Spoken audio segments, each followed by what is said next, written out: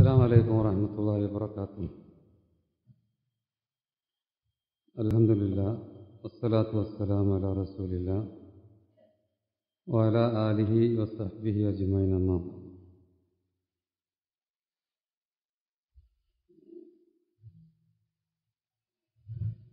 ബഹുമാനപ്പെട്ട നേതാക്കളെ പണ്ഡിതന്മാരെ സഹോദരന്മാരെ സഹോദരിമാരെ അള്ളാഹു സുബാനുവത്താലയുടെ മഹത്തായ നാമങ്ങളാണ് നമ്മൾ ഓരോന്നോരോന്നായി വിശദീകരിക്കുന്നത്. അതിൽപ്പെട്ട ഒരു നാമം അതാണ് ഞാൻ ഇന്നിവിടെ വിശദീകരിക്കുന്നത്. അത് അസ്സാഫി എന്നാണ്. ഇങ്ങനൊരു നാമം അള്ളാഹു സുബാനവോ താലേക്കുള്ളത് റസൂൽ സല്ലാ അലൈഹി സ്വലമാണ് നമുക്ക് പറഞ്ഞു തന്നിട്ടുള്ളത്. അശാഫി അതിനുള്ള റസൂൽ സല്ലാ അലൈഹി സ്വലമിൽ നിന്ന് സ്ഥിരപ്പെട്ട ഒന്ന് രണ്ട് ഹദീസുകൾ ഞാനിവിടെ സൂചിപ്പിക്കുകയാണ്. സഹി ബുഹാരിയിലും മുസ്ലിമിലും ഒക്കെയുള്ള ഒരു ഹദീസ്. എൻ ആയിഷ റലിയുള്ളാഹു അൻഹ അന്ന നബിയ സല്ലാ അലൈഹി സ്വല്ലം ആയിഷ ബീവി റിപ്പോർട്ട് ചെയ്യാം. റസൂൽ സല്ലാഹു അലൈഹി ഖാന ഖാന യുഅവിദു ബാള അഹ്ലിഹി. തന്റെ കുടുംബത്തിൽപ്പെട്ട ചിലർക്ക് വേണ്ടി അഭയം തേടും. യംസഹുബി യതിഹിൽ യുംന. റസൂൽ തന്റെ വലത്തെ കൈകൊണ്ട് തടവും. വയക്കൂൽ എന്നിട്ട് പറയും. അള്ളാഹുമ റബ്ബന്നാസ്. അദ്ഹിബിൽ ബൽസ അള്ളാഹു ജനങ്ങളുടെ രക്ഷിതാവായ അള്ളാഹുവെ നീ ഈ രോഗം അല്ലെങ്കിൽ എന്താണോ അദ്ദേഹത്തിനുള്ള പ്രശ്നം അത് നീ നീക്കി കൊടുക്കണമേ. വഷ്ഫി ഇദ്ദേഹത്തിന് നീ ശിഫ നൽകണേ. അൻത ഷാഫി നീയാണ് ഷാഫി അപ്പോൾ അഷാഫി എന്ന് റബ്ബിനെ പറ്റി റസൂൽ സല്ലാ അലൈഹി സ്വല്ലം പറഞ്ഞു തരുന്നു ലാ ഷിഫ ഇല്ലാ ഷിഫ ഉക്ക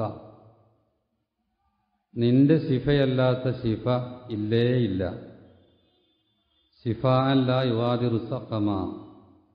ഒരു രോഗവും അവശേഷിപ്പിക്കാത്ത രൂപത്തിലുള്ള ശിഫ നീ ഇദ്ദേഹത്തിന് നൽകണമേ. ഇത് റസൂലുള്ള. ചിലർക്ക് വേണ്ടി ആവശ്യമുള്ള അവർക്ക് വേണ്ടി എന്തു ചെയ്യും? അവരുടെ ശരീരത്തിൽ തടവിയിട്ട് ഇങ്ങനെ പ്രാർത്ഥിക്കും. അതാണ് ഒരു തെളിവ്. ഇനി മറ്റൊന്ന് മറ്റൊരു റിപ്പോർട്ടിൽ ഇങ്ങനെയാണുള്ളത്. ആയിഷാ ബീവി പറയണം കാന റസൂലുള്ളാഹി സല്ലാ അലൈഹി വസല്ലം ഇതസ്തക മിന്ന ഇൻസാനും. ഞങ്ങളിൽ നിന്ന് ആർക്കെങ്കിലും വല്ല രോഗവും ഉണ്ടായാൽ മസഹു ബി യമീനി റസൂൽ എന്ത് ചെയ്യും തന്റെ വലത് കൈ കൊണ്ട് തടവി കൊടുക്കും. തുമ്മക്കാല എന്നിട്ട് പറയും എന്ത് അള്ളാഹുമ റബ്ബന്നാസ്? എന്ന് നമ്മൾ ഇപ്പോൾ പറഞ്ഞ പ്രാർത്ഥന റസൂൽ എന്ത് ചെയ്യും പറയും. ശിഫക്ക് വേണ്ടി പ്രാർത്ഥിക്കണം അപ്പോൾ സബത്തഫി സഹീൽ ബുഖാരി. ഇനി സുഹൈൽ ബുഖാരിയിൽ സ്ഥിരപ്പെട്ട വേറൊരു കാര്യം. അബ്ദുൽ അസീസ് ബിൻ സുഹൈബ് പറയണം ദഹൽതു അന ഒ സാബിത്ത് അല അനസ് ബിൻ മാലിക്. ഞാനും സാബിത്ത് എന്നാളും അനസ് ബിൻ മാലിക് എന്ന സഹാബിയോട് അടുത്ത് ചെന്നു. ഫഖാല സാബിത്ത്. അപ്പൊ സാബിത്ത് അനസിനോട് പറഞ്ഞു അനസ് എന്ന സഹാബിയോട് യാ അബ ഹംസ ഇഷ്ടക്കൈത്തു അബു ഹംസ എന്ന് പറഞ്ഞാൽ അനസ് ബിൻ മാലിക്കിന്റെ ഓമന പേരാണ് അല്ലെ കുഞ്ഞത്താൻ. അനസ് ബിൻ മാലിക്കിനെ വിളിച്ചിട്ട് പറയാണ് എനിക്ക് സുഖമല്ല രോഗമുണ്ട്. അവർ പറയാണ് സാബിത്ത് പറയും. അപ്പൊ കാല അനസ് അപ്പോൾ അനസ് പറഞ്ഞു അല അർഖീക ബി റുഖിയത്ത് റസൂലില്ല സല്ലാ അലൈഹി സ്വല്ലം റസൂൽ നടത്തിയിരുന്ന ആ റുഖിയത്ത് എന്ന് പറഞ്ഞ മന്ത്രം അത് ഞാൻ നിനക്ക് നടത്തി തരണമോ എന്ന് കാല ബല അതേന്ന് പറഞ്ഞു. എന്നിട്ട് നടത്തി കൊടുക്കാൻ എന്താണ് അതിലുള്ളത്? അള്ളാഹുമ റബ്ബന്നാസ് മുദ്ഹിബൽ ബൗസ് ഇസ്ഫി അന്ത അവിടെയൊക്കെ ഇസ്ഫി അന്ത ലാ ഷാഫിയ ഇല്ല അന്ത അപ്പൊ നീ മാത്രമാണ് ഷാഫി നീ അല്ലാത്തൊരു ശിഫ നൽകുന്നവൻ ഇല്ലേ ഇല്ല. അതുകൊണ്ട് എന്ത് ചെയ്യണം? ഇവന്റെ രോഗം നീ ശിഫയാക്കി കൊടുക്കണമേ ശിഫ അല്ല യുവാദി റുസഖമ. ഒരു രോഗത്തെയും അവശേഷിപ്പിക്കാത്ത ശിഫ. നീ ഇദ്ദേഹത്തിന് നൽകണമേ. അപ്പം ഇതിൽ നിന്ന് തന്നെ ഇപ്പോൾ ശിഫ അല്ലെ ഷാഫി എന്നൊക്കെ പറയുമ്പോൾ അതിന്റെ ഉദ്ദേശം നമുക്ക് മനസ്സിലായിട്ടുണ്ടാകും. അപ്പോൾ നമ്മുടെ റബ്ബിന്റെ ഒരു നാമമാണ് അഷാഫി എന്ന് പറയുന്നത്. അപ്പോൾ മായനാഹു അപ്പോൾ അതിന്റെ അർത്ഥം അല്ലദീ മിൻഹു ശിഫ അവനിൽ നിന്നാണ് ശിഫ. രോഗശമനം അള്ളാഹുവിൽ നിന്നാണ്. അപ്പോൾ എന്തിൽ നിന്നൊക്കെയാണ് ശമനം കിട്ടേണ്ടത്? രോഗം പല രൂപത്തിലാണ്. മനുഷ്യന്മാർക്കുള്ള രോഗം. ഒന്ന് ശിഫ സുദൂർ. ഹൃദയത്തിന് നമുക്ക് ശിഫ കിട്ടണം. കാരണം ഹൃദയത്തിൽ രോഗമുണ്ട്. പല രൂപത്തിലുള്ള രോഗങ്ങളുണ്ട്. മിനശുബഹി ഒന്ന് ശുഭ ശുക്കൂക്ക്. അബദ്ധ ആദർശങ്ങൾ അതാണ് ഇവിടെ ശുഭഹത്ത് അത് പേറി നടക്കുന്ന ഹൃദയങ്ങളുണ്ട്. അത് രോഗമാണ്. വ ശുഖു അതുപോലെ സംശയം അതൊരു രോഗമാണ്. ചിലർക്ക് ദീനിനെ പറ്റി സംശയം ഉണ്ടാകും ആയത്തുകളെ പറ്റി സംശയം ഉണ്ടാകും ഹദീസുകളെ പറ്റിയൊക്കെ സംശയം ഉണ്ടാകും അതൊക്കെ ഒരു തരം അസുഖമാണ്. അതുപോലെ വൽ ഹസദ് പിന്നെ ഹൃദയത്തിൽ അടിഞ്ഞുകൂടിയ മറ്റൊരു അസുഖം അതെന്താ അറിയുക ഹെസദാണ് ഹസദ് എന്ന് പറഞ്ഞാൽ അസൂയ എന്ന് പറയും. വൽ ഹിഖദ് പിന്നെ പക. അങ്ങനെ തുടങ്ങിയാൽ ഹൃദയത്തിന്റെ ഉള്ളിൽ അടിഞ്ഞുകൂടിയ തകരാറുകൾ രോഗങ്ങൾ ഒരുപടിയുണ്ട് കുറേയുണ്ട്. ഇതിൽ നിന്നൊക്കെ നമുക്ക് ശിഫ കിട്ടണം. ആരാ ശിഫ നൽകുക? ശിഫ നൽകുന്നവൻ അള്ളാഹു അല്ലാതെ ആരുമില്ല. അത് നമ്മൾ വിശ്വസിച്ചേ മതിയാവും. അല്ലല്ലാതെ ശിഫ നൽകുന്ന ഒരാളും ഈ ലോകത്തില്ല. അപ്പൊ ഹൃദയത്തിൽ അടിഞ്ഞുകൂടിയ ഒരുപാട് രോഗങ്ങളുണ്ട്. അതിൽ നിന്ന് ശിഫ നമ്മൾ അള്ളഹാനോട് തന്നെ ചോദിക്കണം. അവൻ മാത്രമാണ് ശിഫ നൽകുക. ഇനി ഹൃദയത്തിൽ മാത്രമല്ല അസുഖങ്ങളുണ്ടാകും ശരീരത്തിലും അസുഖങ്ങളുണ്ടാകും അപകടങ്ങളും പല രൂപത്തിലുള്ള പല പേരുകളിലുള്ള അസുഖങ്ങളുണ്ടാകും ഇതൊക്കെ നീക്കണമെങ്കിൽ അള്ള വിചാരിച്ചാൽ മാത്രമേ നീക്കാൻ കഴിയുള്ളൂ. ഫലാ ശിഫ ഇല്ലാ ശിഫ ഉം അള്ളാന്റെ ശിഫയല്ലാത്ത വേറൊരു ശിഫ ഇല്ല അങ്ങനെ തന്നെ നമ്മൾ വിശ്വസിക്കണം. വലാ ഷാഫിയ ഇല്ലാഹുവ അല്ല അല്ലാതെ ശിഫ നൽകുന്ന ഒരു ഷാഫി വേറെ ഇവിടെ ഒരാളും ഇല്ല. കമാഖാല ഇബ്രാഹിം അൽ ഖലീൽ മഹാനായ ഇബ്രാഹിം അലൈഹി ഇസ്ലാം പറഞ്ഞതുപോലെ. അദ്ദേഹം എന്താ പറഞ്ഞത് വൈദാ മരിൽ തു എനിക്ക് രോഗമായാൽ ഫഹവ യശ്വീൻ അവനാണ് എനിക്ക് ശിഫ നൽകുന്നത്. ആര്? അള്ളാഹു. എനിക്ക് രോഗം വന്നാൽ ആരാണ് ശിഫ നൽകുന്നത്? അള്ളാഹുവാണ് ഐ ഹുവ വഹ്ദഹുൽ മുത്തഫരീദ് അവൻ മാത്രം. ലാ ശരീക്കലോ അതിന് അവന് ഒരു പങ്കുകാരുമില്ല. വലിത അതുകൊണ്ട് നമുക്കൊക്കെ നിർബന്ധമായ ഒരു കാര്യം പറയണം. വജബ കുല്ലി മുഖല്ലഫ്. ഈ ലോകത്ത് ജീവിക്കുന്ന എല്ലാവർക്കും നിർബന്ധമാണ്. എല്ലാ തെക്കലീഫുള്ള അള്ളാന്റെ ബാധ്യത അല്ല അള്ളാന്റെ കൽപ്പനകൾ അനുസരിച്ച് ജീവിക്കുന്ന ജീവിക്കാൻ ബാധ്യതയുള്ള എല്ലാവരും. അവൻ വിരോധിച്ചത് ഒഴിവാക്കി ജീവിക്കേണ്ട ബാധ്യതയുള്ള എല്ലാവർക്കും നിർബന്ധമാണ്. അൻ യാത്തഖിദ അവൻ വിശ്വസിക്കണം. എന്താ വിശ്വസിക്കേണ്ടത്? അഖീദത്തൻ ജാസിമ ഉറപ്പിച്ച് വിശ്വസിക്കണം. അന്നഹു ലാ ഷാഫിയ ഇല്ലല്ലാ അല്ല അല്ലാത്തൊരു ഷാഫി ഇവിടെ ഇല്ല ആ ഷാഫി അവൻ മാത്രമാണ്. വഖദ് ബയ്യനദാലിക്കൻ നബി സല്ലാ അലൈഹി സ്വല്ലം ബിഖൗലിഹി ഇതാണ് റസൂൽ തിരുമേനി സല്ലാ അലൈഹി സ്വലം ഇവിടെ പറഞ്ഞത്. ലാ ഷാഫിയ ഇല്ല അൻത അങ്ങനെ റസൂൽ പറഞ്ഞു. അള്ളാഹുവെ നീയല്ലാതെ വേറൊരു ഷാഫിയേ ഇല്ല. ശിഫ നൽകുന്ന വേറെ ഒരാളും നീയല്ലാതെ ഇല്ല. അപ്പം ഇനി ഇവിടെ ചില പ്രശ്നങ്ങൾ ചില സംശയങ്ങളൊക്കെ വരാം. നമ്മൾ അസുഖം ഉണ്ടാകുമ്പോൾ ഡോക്ടറെ കാണലില്ലേ? അപ്പോൾ ഡോക്ടർ മരുന്ന് എഴുതി തരും. അത് കുടിച്ചിട്ട് മാറുന്നില്ലേ? അപ്പോൾ ആ മരുന്ന് നമുക്ക് ശിഫ നൽകുന്നില്ലേ? അതല്ലെങ്കിൽ നമുക്കെന്തോ മനസ്സിനോ അല്ലെങ്കിൽ ശരീരത്തിനൊക്കെ തന്നെ വല്ല അസുഖങ്ങളും വരുമ്പോൾ മതത്തിലുള്ള റുഖിയ നടത്തിയാലും അസുഖങ്ങൾ മാറുന്നില്ലേ?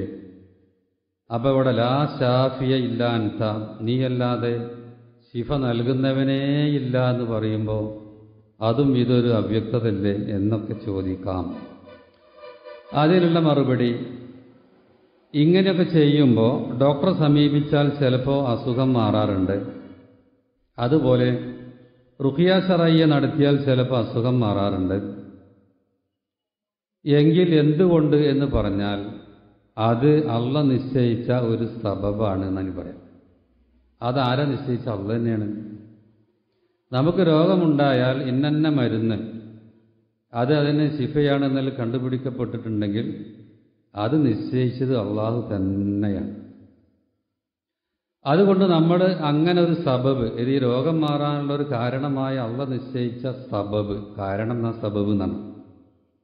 അങ്ങനെയുള്ള സബബ് നമുക്ക് ഉപയോഗിക്കാം.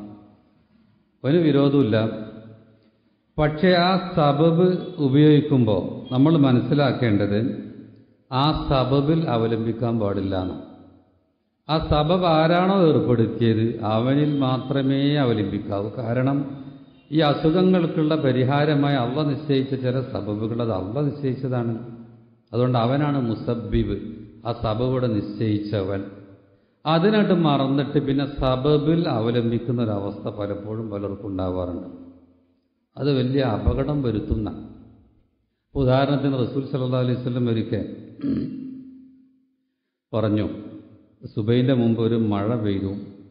ആ മഴയ്ക്ക് ശേഷം അള്ള പറഞ്ഞു എന്ന് പറഞ്ഞിട്ട് റസൂൽ പറയാം അസ്ബാമിൻ ഇബാദി മൂമിനും ബി കാഫറും ബിൽ കൗക്കം എന്റെ അടിമകളിൽ ഇപ്പോൾ രണ്ട് കൂട്ടരുണ്ടായി ഒരു മഴ പെയ്തപ്പോൾ ഒരു മഴ പെയ്തപ്പോൾ രണ്ട് വിഭാഗം.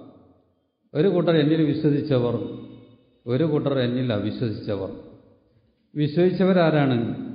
മുത്തിർനാബി ഫതിലില്ലാഹി അള്ളാഹുവിന്റെ അനുഗ്രഹങ്ങൾ കൊണ്ടും റഹ്മത്തി അവന്റെ കാരുണ്യം കൊണ്ട് നമുക്ക് മഴ കിട്ടി എന്ന് പറഞ്ഞവർ എന്നിൽ വിശ്വസിച്ചു.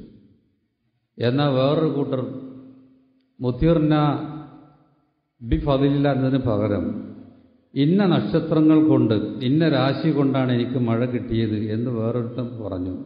അവർ എന്നിൽ അവിശ്വസിച്ചവനും വ മോമിനും ബിൽ കവാക്കി നക്ഷത്രങ്ങളിൽ വിശ്വസിച്ചവനുമാണ്. അവ കാഫറുകളെയും മോമിനുകളും. രണ്ട് നിലക്കൊരു മഴ പെയ്തപ്പോൾ ഉണ്ടായ കാര്യം ഈ പറഞ്ഞു.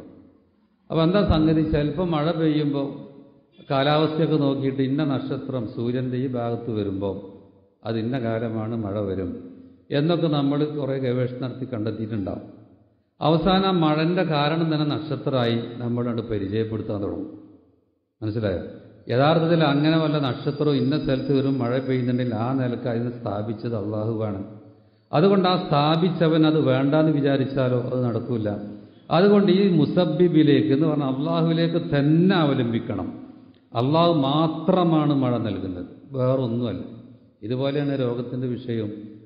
നമ്മൾ ഏത് മരുന്ന് കഴിച്ചാലും അതുകൊണ്ട് രോഗം മാറ്റുന്നത് അള്ളാഹു തന്നെയാണ്. അതുകൊണ്ട് ഈ വിഷയത്തിൽ അടിസ്ഥാനപരമായി മനസ്സിലാക്കേണ്ട കാര്യം എന്താണ്? ഒന്ന് അല്ല യജാല മിൻഹ സബബൻ. ഇല്ലാമ സബത്ത അന്നവും സബബുൻ ഷറാൻ ഔ ഖദറ. ഒന്ന് ഇന്ന കാരണത്തിന് രോഗം അത് സുഖമാവണമെങ്കിൽ അള്ള നിശ്ചയിച്ച കാരണമായിരിക്കണം. വേറൊരു കാരണം നമ്മൾ ഉണ്ടാക്കാൻ പാടില്ല അതൊന്നങ്ങനെ ഇത് അള്ള ഇപ്പോൾ രോഗം മാറണമെങ്കിൽ ഞാൻ നേരത്തെ പറഞ്ഞ റുഖിയ ഷറയ്യ ഷറായിലുള്ള മന്ത്രങ്ങളുണ്ട്. അതല്ലാതെ ശിർക്കിയായ മന്ത്രങ്ങളും ഉണ്ടാവും. അങ്ങനെ അള്ള നിശ്ചയിക്കാത്ത സബബിലേക്ക് നമ്മൾ പോകാൻ പാടില്ല. എന്താണോ അള്ള നിശ്ചയിച്ചത് അത് മാത്രം. ഇതുപോലെ ഭൗതികമായ ചികിത്സയാണെങ്കിലും ഹറാമായ ചിലതുണ്ടാവും. നിശ്ചയിച്ചത് ഇപ്പോൾ കള്ള് കുടി കള്ള് കൊണ്ട് ചികിത്സിക്കുന്ന ആൾക്കാരുണ്ടാവും. പക്ഷെ അത് അള്ള ലോകത്തിനുള്ള ചികിത്സയായി നിശ്ചയിച്ചതല്ല അത്. അത് നമ്മൾ ചെയ്യാൻ പാടില്ല. അള്ള നിശ്ചയിച്ചതെന്തോ ആ സബബിലേക്ക് മാത്രം പോകുന്നു രണ്ടാമത്തെ അല്ല യാഥമിത ലബ്ദു അലയ്യ അടിമ ഈ സബബിൽ തന്നെ അവലംബിക്കാൻ പാടില്ല. പിന്നെ അയിമ തവക്കുലാക്കാം ചിലർ ഡോക്ടർമേലെ തവക്കുലാക്കൽ. വേറെ ചില ആൾക്ക് റുക്കിയ നടത്തുകയാണെങ്കിൽ ഓന്റെ മേൽ തവക്കുലാക്കുക. ഈ പരിപാടി പറ്റില്ല. ഇത് മുഴുവൻ നിശ്ചയിച്ച അള്ളാഹുവാണ്. അവനിൽ മാത്രമേ അത് ഭരമേൽപ്പിക്കാനും അവലംബിക്കാനും പാടുള്ളൂ. മൂന്നാമത്തെ കാര്യം അന്യാലം അറിയണം. അന്നൽ അസ്ബാ മഹ്മ അളുമത്വ കവിയത്ത് ഈ കാരണങ്ങൾ എത്ര വലിയതാണെങ്കിലും എത്ര വലിയ സബബാണെങ്കിലും ഫൈന മുർത്തബിത്തുമ്പി കലാ ഇല്ലാ കതിരി അതൊക്കെ അള്ളാന്റെ കലാ കതിറുമായി ബന്ധപ്പെട്ടതാണ്. നമ്മൾ എത്ര രോഗം മാറാൻ ഏറ്റവും നല്ല മരുന്ന് അറിയപ്പെട്ടത് ഞാൻ കഴിച്ചിട്ടുണ്ട്. നീ എന്തായാലും മാറുമെന്ന് വിചാരിക്കണ്ട. അത് അള്ളാന്റെ കഥാകഥറുമായി ബന്ധപ്പെട്ടതാണ്. അവൻ ആ സബബം തൽക്കാലം മാറ്റി നോക്കുക അതാണ് മാറിപ്പോവും. അവിടെ അസുഖം മാറിക്കൊള്ളണം എന്നില്ല. അപ്പോൾ നൂറ് ശതമാനവും ഈ സബബ് നിശ്ചയിച്ചത് അള്ളാഹു ആയതുകൊണ്ട് അള്ളാഹു മാത്രമാണ് ഷാഫി എന്ന് നമ്മൾ വിശ്വസിക്കുക എന്നുള്ളത് ഒരു മുവഹിദിന്റെ നിർബന്ധമായ ബാധ്യതയാണ്. വേറെ ആരിലേക്കും അത് നിശ്ചയിക്കാൻ പാടില്ല. അത് വകവെച്ച് കൊടുക്കാൻ പാടില്ല. അപ്പം ഇങ്ങനെ അള്ള നിശ്ചയിച്ച സബബ് നമുക്ക് സ്വീകരിക്കാം. അത് തവക്കുലിന് എതിരല്ല. ഏതുപോലെ? അള്ളാഹു സുബാനോത്താലയാണ് നമ്മൾക്ക് ഭക്ഷണം നൽകുന്നത്. വിശുദ്ധ ഖുർആൻ പറഞ്ഞു ഇബ്രാഹിം നബിന്റെ വാചകത്തിലൂടെ വല്ലരിയോ യുദ്ധയിമുനിയോ യസ്തീൻ അവനാണ് എന്നെ ഭക്ഷിപ്പിക്കുന്നത് അവനാണ് എന്നെ കുടിപ്പിക്കുന്നത്. അപ്പോൾ അള്ളയാണ് എന്നെ ഭക്ഷിപ്പിക്കുന്നത്. അതുകൊണ്ട് ഞാൻ ഭക്ഷണമൊന്നും കഴിക്കണ്ട എന്ന് വിചാരിക്കാൻ പറ്റുമോ? അള്ള കുടിപ്പിക്കണില്ല. അള്ള സബബ് നമുക്ക് നിശ്ചയിച്ചിട്ടുണ്ട് തന്നിട്ടുണ്ട്. നിങ്ങൾ ചെയ്യണം? ദുനിയാവിൽ ഭൂമിയിലൂടെ വ്യാപിക്കണം. ഭക്ഷണത്തിനുള്ള ഏർപ്പാട് നോക്കണം. എന്നിട്ട് ഭക്ഷണം കഴിച്ചാൽ തന്നെ വിശപ്പ് മാറുള്ളൂ. അള്ളാഹുവാണ് നമുക്ക് മക്കളെ നൽകുന്നത്. എന്നാലും മക്കളെ കിട്ടാൻ അള്ളൊരു സബബ് നിശ്ചയിച്ചിട്ടുണ്ട്. ആ കാര്യങ്ങൾ നമ്മൾ ചെയ്യണം. ഇത് ചെയ്യുമ്പോഴാണ് ശരിക്കുള്ള തവക്കുൽ ആവുക എന്നുള്ളത്. ഈ സബബ് നമ്മൾ ചെയ്യണം. അതാണ് ലാ തത്തിമു ഹക്കീക തവക്കുൽ. യഥാർത്ഥത്തിലുള്ള തവക്കുൽ പൂർത്തിയാകണമെങ്കിൽ ഇല്ലാബി മുബാശറത്തിൽ അസ്ബാബ് അപ്പോൾ നമ്മൾ ആ സബബ് നമ്മൾ ചെയ്യണം എന്നർത്ഥം. എന്നാലേ നമ്മൾ ഇത്തരം രോഗശമനത്തിനാണെങ്കിൽ വേറെ ഏതാണ്? അള്ള നിശ്ചയിച്ച മരുന്നുണ്ടെങ്കിൽ ആ മരുന്ന് കഴിക്കണം. അതല്ലെങ്കിൽ വേറെ സംവിധാനങ്ങളിൽ അള്ള നിശ്ചയിച്ച കാരണമാണ് അത് നമ്മൾ ചെയ്യണം. പക്ഷേ ചെയ്യും. ആ കാരണം മാത്രമാണ് എനിക്ക് സുഖപ്പെടുത്തിയെന്ന് വിശ്വസിച്ചാലോ വലിയ വ്യതിയാനം സംഭവിക്കും. ആ സബബ് നിശ്ചയിച്ച അള്ളാഹുവാണ്. അതുകൊണ്ട് അള്ളാഹ്ക്ക് മാത്രമേ ഈ ഒരു കാര്യം ചെയ്യാൻ പറ്റുള്ളൂ. അവൻ മാത്രമാണ് ഷാഫി എന്ന് വിശ്വസിക്കുകയും വേണം. ഇനി സബബ് നിശ്ചയിച്ചത് ഒരുപാട് വിശദീകരണം. നമ്മളങ്ങനെ അവിടെ രോഗം ശിഫയാക്കുന്ന വിഷയമുള്ള അവിടെ ഉള്ളത് ഷാഫി എന്ന് പറഞ്ഞാൽ അതാണല്ലോ. അതുകൊണ്ട് ഏത് രോഗം മനുഷ്യന് ബാധിച്ചാലും അത് നമ്മൾ മരുന്ന് കഴിക്കണം അല്ലെങ്കിൽ അതിലുള്ള വേറുള്ള വഴികൾ. ഞാൻ നേരത്തെ പറഞ്ഞ അല്ല നിശ്ചയിച്ച ചില ദിക്കറുകളും ദ്വയകളൊക്കെ ഉണ്ട്. അതൊക്കെ ചെയ്യണം. ചെയ്യാതെ തള്ളാണ് മാറ്റി തരട്ടെ എന്ന് പറഞ്ഞിട്ട് ഇങ്ങനെ ഉള്ള തവക്കൂലല്ല വേണ്ടത്. നമ്മൾ മരുന്ന് കഴിക്കണേ അത് വേണം. ഇസ്ലാമിലുള്ള ദിക്കറുകളും പ്രാർത്ഥനകളൊക്കെയാണ് അത് വേണം. അങ്ങനെ ചെയ്യണം. ഏത് അസുഖത്തിനും ലോകത്ത് മരുന്നുണ്ടെന്ന്. റസൂൽ സല്ലാ അലൈഹി സ്വലം പറയുന്ന കേട്ടോളി. ലിഖുല്ലി ദായിൻ ദവ. എല്ലാ രോഗത്തിനും വരുന്നുണ്ട് റസൂല പറഞ്ഞു. എല്ലാ രോഗത്തിനും. സഹി മുസ്ലിമിലുള്ള ഹദീസാണ്. ഫൈദ ഉസീബ ദവാ ഉദ്ദ. അങ്ങനെ ഒരു രോഗത്തിന്റെ മരുന്ന് അത് ഏൽക്കേണ്ട രൂപത്തിൽ ഏറ്റാൽ ബറാബി ഇതിനില്ല. അള്ളാൻ അനുവാദത്തോടു കൂടി അവന് സുഖപ്പെടും. അള്ളാൻ അനുവാദം അല്ലാതെ ഒന്നും സുഖാവില്ല അതുകൊണ്ട് ഈ മരുന്ന് കഴിച്ചാലും അള്ള തന്നെയാണ് മാറ്റി തരേണ്ടത് അവനോട് തന്നെ പറയേണ്ടത്. ഇവിടെ വരമേൽപ്പിക്കാൻ പറ്റില്ല. വഫി സഹീൽ ബുഖാരി. സഹീ ബുഖാരിയുള്ള ഒരു ഹദീസ് ഇങ്ങനെയാണ്. കാല റസൂൽ അലൈഹി സ്വല്ലാ അലൈഹി സ്വല്ലം റസൂൽ തിരുമേനി സല്ലാ അലൈഹി സ്വല്ലം പറഞ്ഞു മാ അൻസൽ അള്ളാഹു മിൻ ദായിൻ ഇല്ല അൻസലലഹു ശിഫ അല്ല ഏതൊരു രോഗം ഇറക്കിയിട്ടുണ്ടെങ്കിൽ അതിന് ശിഫയും ഇറക്കിയിട്ടുണ്ടെന്നാണ് ഏതൊരു രോഗം ഇവിടെ ഉണ്ടോ അതിനുള്ള മരുന്നും ഇവിടെ ഇറക്കിയിട്ടുണ്ട്. അത് സഹി മുസ്ലിമിലുള്ള ഹദീസാണ്. ഏ? മാ അള്ളാഹു മിൻ ദായിൻ. അള്ള ഏതൊരു ദായിനെയും ഇറക്കിയിട്ടില്ല ഇല്ല അൻസലലഹു സിഫ ആ വേറെ ഹദീസുണ്ട്. ഈ വാചകം. സഹി മുസ്ലിമിലുള്ള വാചകമാണ് ഞാൻ പറഞ്ഞത്. ഏതൊരു രോഗവും അള്ള ഇറക്കിയിട്ടുണ്ടോ അതിനള്ള എന്ത് ചെയ്തിട്ടുണ്ട്? അതിന് സിഫ ഇറക്കിയിട്ടുണ്ട്. ഏ? ഇനി നിങ്ങൾ പറഞ്ഞത് വേറെ വരുന്നുണ്ട്. ഇനിയും സഹാബികൾ റസൂൽ സല്ലാഹു അലൈഹി സ്വലമിന്റെ അടുത്ത് വന്നിട്ട് പറയണം യാ റസൂൽ അള്ളാ അനതദാവ അള്ളാഹുവിന്റെ ദൂതരെ ഞങ്ങൾ ചികിത്സിക്കണ്ടേ എന്ന് എഴുതണം ചികിത്സിക്കണ്ടേ? പകാലനായം അതേ ചികിത്സിക്കണം. യാ ഇബാദല്ല തദാവു അള്ളാഹുവിന്റെ അടിമകളെ നിങ്ങൾ ചികിത്സിക്കുക. ഫൈനല്ലാ അസവജല്ല ലം യലദാനില്ല വലാലഹു ശിഫ. അല്ല ഏതൊരു രോഗം അവിടെ വെച്ചിട്ടില്ല അതിന് ശിഫ വെക്കാതെ. അപ്പോൾ അതിനുള്ള മരുന്ന് ശമന ഔഷധവും ഇവിടെ നിശ്ചയിച്ചിട്ടുണ്ട്. വയറദായും വാഹിദ് ഒരൊറ്റ രോഗം ഒഴികെ. അതിനെന്തില്ല? ഇവിടെ മരുന്നില്ല. ആ ഒരു രോഗം എന്ന് പറഞ്ഞാൽ കാലു മാഹുവ അത് ഏതാന്ന് ചോദിച്ചു? അൽ ഹറം അത് വാർദ്ധക്യമാണ്. വാർദ്ധക്യം അത് ചികിത്സിച്ചിട്ട് മാറ്റാൻ കഴിയുന്ന ഒരു രോഗമല്ല. വഫി ലഫ്ലിൻ മറ്റൊരു വാചകം ഇന്നള്ള ലൻ എൻസിൽ ദാൻ ഇല്ല അൻസലലോ ശിഫ. അല്ല ഒരു രോഗത്തെയും ഇറക്കിയിട്ടില്ല.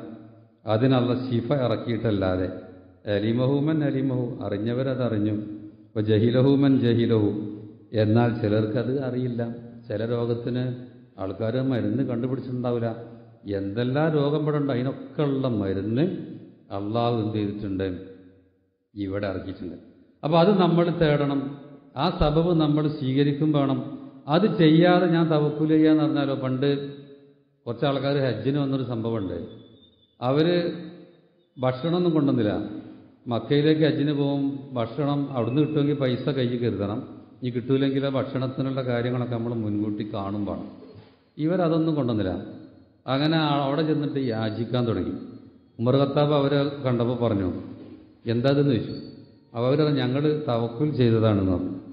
അപ്പോൾ അദ്ദേഹം നിങ്ങൾ മുത്തവക്കീങ്കിലീങ്ങളല്ല നിങ്ങൾ മുത്താക്കിലീങ്ങളല്ല സാപ്പാട്ട് വീരന്മാർ അന്യന്റെ മുമ്പിൽ കൈകാട്ടി യാചിച്ചിങ്ങനെ നടക്കുകയാണ്. അപ്പോൾ തവക്കുൽ എന്ന് നമുക്ക് ചെയ്യാനുള്ളതൊക്കെ ചെയ്യാം. എന്നിട്ട് റബ്ബിനെ ഏൽപ്പിക്കുക. ഇതുപോലെ നമ്മൾ ചെയ്യാനുള്ള സബബുകൾ അള്ളാഹു നിശ്ചയിച്ച സബബുകൾ നമ്മൾ ഏർപ്പെടണം. എന്നാൽ നിശ്ചയിച്ച അള്ളാഹുവാണ് എന്ന് നൂറ് ശതമാനം വിശ്വസിക്കണം. അതുകൊണ്ട് അവൻ നിശ്ചയിച്ച സബബ് ചിലപ്പോൾ പിൻവലിക്കും. അപ്പോൾ റബ്ബിന്റെ അടുത്ത് തന്നെയാണ് എല്ലാ കാര്യവും എന്ന് നമ്മൾ ഉറപ്പിച്ച് വിശ്വസിക്കുമ്പോൾ അപ്പോൾ ഏതായാലും ശരി ഇവിടെ രോഗങ്ങൾ പലതും ഉണ്ടെന്ന് നമ്മൾ പറഞ്ഞു. ശരീരത്തിന് ഏൽക്കുന്ന രോഗങ്ങളുണ്ട്. അതുപോലെ മനസ്സിന് ഏൽക്കുന്ന രോഗങ്ങളുണ്ട്. ഇതിൽ നിന്നൊക്കെ നമുക്ക് സുരക്ഷ കിട്ടണം. നമ്മുടെ ആരോഗ്യത്തിന് ഇസ്ലാം വല്ലാത്ത പ്രാധാന്യം കൊടുക്കുന്നുണ്ട്.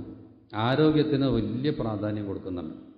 ഒരുപാട് ഞാൻ ചില തെളിഞ്ഞ് വിശദീകരണമൊന്നുമില്ല അങ്ങനെ അർത്ഥം പറഞ്ഞു പോവുകയാണ് ഒന്ന് നിയമത്താനി രണ്ട് അനുഗ്രഹങ്ങൾ എന്നാണ് ആ രണ്ട് അനുഗ്രഹങ്ങളിലും ഒരുപാട് ആൾക്കാർ വഞ്ചിതരാണ്. അവർക്ക് നഷ്ടം സംഭവിക്കുന്നുണ്ട്. ഒന്നെന്താ? സിഹത്തു ആരോഗ്യം മറ്റൊന്ന് വൽ ഫറാ ഒഴിവ് സമയം. അപ്പോൾ ആരോഗ്യം ഒരു അനുഗ്രഹമാണ് നമ്മൾ ഈ ആരോഗ്യം നമ്മൾ നിലനിർത്താനുള്ള പ്രവർത്തനം നമ്മൾ ചെയ്യണം. ആരോഗ്യം അള്ള ചെയ്തു തന്ന അനുഗ്രഹമാണ്. പക്ഷെ പലരും ആ വിഷയത്തിൽ നഷ്ടപ്പെടുത്തുകയാണ്. ഈ അനുഗ്രഹം നഷ്ടപ്പെടുത്തുകയാണ്. ആരോഗ്യമുള്ള സമയത്ത് പലതും ചെയ്യാനുള്ളത് ചെയ്യണം അത് ചെയ്യാതെ. അതുപോലെ ഒഴിവ് സമയം അത് വേറെ ഒരു അനുഗ്രഹമാണ്. അതാണ് എഴുത്തനിയും ഹംസൻ കബുല ഹംസ്. ഇവിടെയുണ്ട് ആരോഗ്യത്തെ പറ്റി പറയണം അഞ്ച് കാര്യം വരും അതിന്റെ മുമ്പ് അഞ്ച് കാര്യം നിങ്ങൾ ശരിക്കും ഉപയോഗിക്കണം. അഞ്ച് കാര്യം വരുന്നതിന്റെ മുമ്പ് ആ അഞ്ച് കാര്യം ഉപയോഗിക്കുക. അത് വന്നാൽ പിന്നെ ഉപയോഗിക്കാൻ കഴിയില്ല. ഒന്ന് ഹയാത്തക കബല മൗത്തിക മരിക്കുന്നതിന് മുമ്പ് ജീവിതം ശരിക്കും ഉപയോഗിക്കുക. അള്ള ഇഷ്ടപ്പെട്ട രൂപത്തിൽ ഉപയോഗിക്കുക. അപ്പോൾ സിഹത്തൊക്കെ കബല മറളിക്ക രോഗത്തിന് മുമ്പ് നിന്റെ ആരോഗ്യം ശരിക്കും ഉപയോഗിക്കുക. ആരോഗ്യം വലിയൊരു അനുഗ്രഹമാണ്. അപ്പോൾ ഫറാഖ കബല ഷോഗിലിക്ക ജോലി തിരക്ക് വരും. അതിന്റെ മുമ്പ് ഒഴിവ് നേരം ശരിക്കും ഉപയോഗിച്ചോളൂ. ഇപ്പോൾ ശബാബക കബല ഹറമിക്ക വാർദ്ധക്യത്തിന്റെ മുമ്പ് യുവത്വം. ഇതൊക്കെ വലിയ അനുഗ്രഹമാണ്. ഇതൊക്കെ റബ്ബ് തന്നതാണ്. അത് ശരിക്കും ഉപയോഗിക്കാനാണ് പറഞ്ഞു. അപ്പോൾ ഹിനാക്ക കബല ഫക്കിരിക്ക അതുപോലെ നിന്റെ ദാരിദ്ര്യം വരും. ദാരിദ്ര്യം വരും. അതിന് മുമ്പ് ഹിന സമ്പന്നരാണെങ്കിൽ നല്ല ശ്രദ്ധിക്കണം. ചിലപ്പോൾ അടുത്തത് ഫഖറായിരിക്കും വരും അതിന് മുമ്പ് ഹിന ശരിക്കും ഉപയോഗിക്കണം. അത് വേണ്ടതുപോലെ അള്ള തന്ന സമ്പത്ത് ഉപയോഗിക്കേണ്ട രൂപത്തിൽ തന്നെ അത് ഉപയോഗിക്കണം. അതൊന്നും ഞാൻ ചെറു ചെയ്യുന്നില്ല. മറ്റൊന്ന് അൽ മോമിനുൽ കവി ശക്തിയുള്ള മോമിൻ. ഏത് ആരോഗ്യമുള്ള മോമിനെ പറ്റി പറയണം. ആരോഗ്യമുള്ള സത്യവിശ്വാസി. ഖൈറും മിനൽ മോമിനുള്ളായി ആരോഗ്യമില്ലാത്ത സത്യവിശ്വാസിയേക്കാൾ നല്ലവനാണ്. അവനെ കൊണ്ടല്ലേ കൂടുതൽ ഖൈറുണ്ടാകുക? എന്നിട്ട് റസൂൽ പറയും ആരോഗ്യമില്ലാത്ത സത്യവിശ്വാസികൾ ഇടങ്ങാറാവുന്നും വേണ്ട. വഫീ കുല്ലിൻ ഖൈർ. എല്ലാറ്റിലും ഖൈറുണ്ട്. എന്നാലും ആരോഗ്യമുള്ള സത്യവിശ്വാസി അവനെ കൊണ്ടുള്ള ഖൈർ കുറച്ച് ഏറെയാണ്. പക്ഷെ ആ ആരോഗ്യം ശരിക്കും ഉപയോഗിക്കണം. അപ്പോഴാവുള്ളൂ. അപ്പോൾ ഏതായാലും അതും എന്താണ് വലിയൊരു അനുഗ്രഹമാണ്. ഇനി നിങ്ങൾ ആലോചിച്ച് നോക്ക്. മഹാനായ മൂസ അലൈഹി മദിയൻ എന്ന സ്ഥലത്തെത്തിയപ്പോൾ അവിടെയുള്ള ചില സംഭവങ്ങളൊക്കെ ഉണ്ടല്ലോ. ആടിന് വെള്ളം കൊടുത്ത സംഭവമൊക്കെ. അങ്ങനെ ആ രണ്ട് പെൺകുട്ടികൾ മാറി നിന്ന്. അവരുടെ ആടുകൾക്ക് വെള്ളം കൊടുത്തു. അവർ വീട്ടിൽ പോയി. അങ്ങനെ വെള്ളം കൊടുത്ത മനുഷ്യനെ പറ്റി പറഞ്ഞു. അങ്ങനെ ഒരു പെൺകുട്ടി ബാപ്പയോട് പറയാണ് ഷുഹൈബ് നബിയോട് കാലത്ത് ഹിദാഹുമായ അബത്തി സജിറുഹു. അതിലൊരാൾ പറഞ്ഞു എന്റെ പിതാവ് നിങ്ങൾ അദ്ദേഹത്തെ കൂലിക്കെടുക്കണം മൂസാ നബിനെ. മൂസാ നബിനെ നമുക്കിവിടെ കൂലിക്കാരനെ ഇവിടെ നിശ്ചയിക്കാം. ഇന്ന ഹൈറമൻ ഇസ്തജർത്ത അൽ ഖവിയുൽ അമീൻ. നിങ്ങൾ കൂലിക്ക് വെക്കുന്ന ആൾ അൽ ഖവിയാണ് നല്ല ശക്തിയുള്ള ആളാണ് അമ്പിയാക്കളൊക്കെ നല്ല എല്ലാ നിലക്കും ഒത്ത ആൾക്കാരായിരിക്കും നല്ല ആരോഗ്യമുള്ള ആൾക്കാരൊക്കെ ആയിരിക്കും. അപ്പം ഇന്ന ഹൈറമൻ ഇസ്തജർത്ത അൽ ഖവിയുൽ അമീൻ. അദ്ദേഹം നല്ല ശക്തിയുള്ള ആളുമാണ് അതിന് പുറമെ അൽ അമീനുമാണ്. വിശ്വസ്തനാണ്. ശക്തിയൊക്കെ ഉണ്ടാകുമ്പോൾ ചിലർക്ക് അഹങ്കാരം കൂടും. പിന്നെ അവൻ ഒന്നിനും കൊള്ളരുതാത്ത ആളായി മാറും. ആ ശക്തി വഴി തെറ്റി വേറെ പല വഴിയിലും പോവും ഇത് അങ്ങനെയൊന്നല്ല കവിയാണ് അൽ അമീനാണ് വിശ്വസ്തനുമാണ്. അങ്ങനെ മൂസ അലൈഹി സ്വലാമിനെ പറ്റിയും ആ ഒരു നല്ലൊരു വിശേഷണം പറഞ്ഞത് പ്രത്യേകം വിശുദ്ധ ഖുർആൻ പറയാം. ഇവിടെയൊക്കെ കുവ്വത്ത് എന്നത് ഇസ്ലാമിൽ ആരോഗ്യത്തിന് വലിയ പ്രാധാന്യം കൊടുക്കുന്നുണ്ട്. അതുകൊണ്ട് നമ്മുടെ ആരോഗ്യത്തിന് തകരാറ് വരുത്തുന്ന കാര്യങ്ങളിൽ നിന്ന് മോചനം നൽകാനുള്ള ഒരുപാട് സബബുകൾ അള്ള അവിടെ നിശ്ചയിച്ചിട്ടുണ്ട്. അത്തരം കാര്യങ്ങൾ നമ്മൾ ചെയ്യണം. അപ്പോൾ നമ്മൾ നിർബന്ധമായും വിശ്വസിക്കേണ്ട സബബ് അള്ളയാണ് ഇവിടെ നിശ്ചയിച്ചത്. അതുകൊണ്ട് അവനാണ് ശിഫ നൽകുന്നത് എന്ന് നമ്മൾ ഉറച്ചു വിശ്വസിക്കണം. മറ്റൊരു സംഭവം വിശുദ്ധ ഖുറാനിൽ പറയണം. എന്ത് സൂറത്തുൽ ബക്കറ ഇരുന്നൂറ്റി നാൽപ്പത്തി ആറ് ഇരുന്നൂറ്റി നാൽപ്പത്തേഴ് വചനങ്ങളിലൊക്കെ ഉള്ള വിഷയമാണ്. അതായത് ഇസ്രായേൽ വർഗത്തിൽപ്പെട്ട ഒരു കൂട്ടർ എന്ത് ചെയ്തു എന്നറിയോ? മൂസാ നബിക്ക് ശേഷം വന്ന ഖുർആാനിൽ പറഞ്ഞ പെട്ടെന്ന് അർത്ഥം പറഞ്ഞത്. അലം തറ ഇലൽ മലൈ മിൻ ബനി ഇസ്രായില മിൻ ബാദി മൂസ. മൂസാ നബിക്ക് ശേഷം ഇസ്രായേൽ വർഗത്തിൽ നിന്ന് ഒരു കൂട്ടരെപ്പറ്റി താങ്കൾ കാണുന്നില്ലയോ? ഇത് കാലൂലി നബിയില്ലഹും അവർക്ക് വന്നൊരു നബിയോട് അവർ പറഞ്ഞു ഇബുഅസ്ലന മലിക്കൻ നുഖാത്തിൽ ഫി സബീലില്ല. നിങ്ങൾ ഞങ്ങൾക്കൊരു രാജാവിനെ നിശ്ചയിച്ചു തരണം. അള്ളാഹിന്റെ മാർഗത്തിൽ യുദ്ധം ചെയ്യാൻ ഞങ്ങൾക്കൊരു രാജാവ് വേണം. അദ്ദേഹത്തിന്റെ കീഴിൽ കാല അപ്പം മൂസാ നബി പറഞ്ഞു. അല്ല ആ നബി പറഞ്ഞു മൂസാ നബി അല്ല. അവരുടെ ആ പ്രവാചകൻ പറഞ്ഞു മൂസാ നബിക്ക് ശേഷമുള്ള കാര്യം. അല്ല അസൈത്ത് മീൻ കുത്തിബ അലൈക്കുമിൽ ഖിത്താലും അല്ലാ തുക്കാത്തിലും അങ്ങനെ യുദ്ധം നിങ്ങൾക്ക് നിർബന്ധമാക്കി രാജാവിനൊക്കെ വെച്ചിട്ട്. പിന്നെയും നിങ്ങൾ യുദ്ധം ചെയ്യാതിരുന്നാലോ? അപ്പോൾ കാലു അവർ പറഞ്ഞു വമാലന അല്ല നുക്കാത്തിലെ ഫിസബിയില്ല അങ്ങനത്തെ ഒരു പ്രശ്നം ഉണ്ടാവില്ല. അള്ളാഹിന്റെ മാർഗത്തിൽ ഞങ്ങൾ എന്തിനാണ് യുദ്ധം ചെയ്യാതിരിക്കുന്നത്? വക്കത് ഉഹ്രിജിന മിൻ ദിയാരിനെ ഞങ്ങളെ വീട്ടിൽ നിന്ന് ഞങ്ങൾ പുറത്താക്കപ്പെട്ടവരാണ്. അപ്പോൾ അഭിനായന ഞങ്ങളുടെ മക്കളിൽ നിന്നും.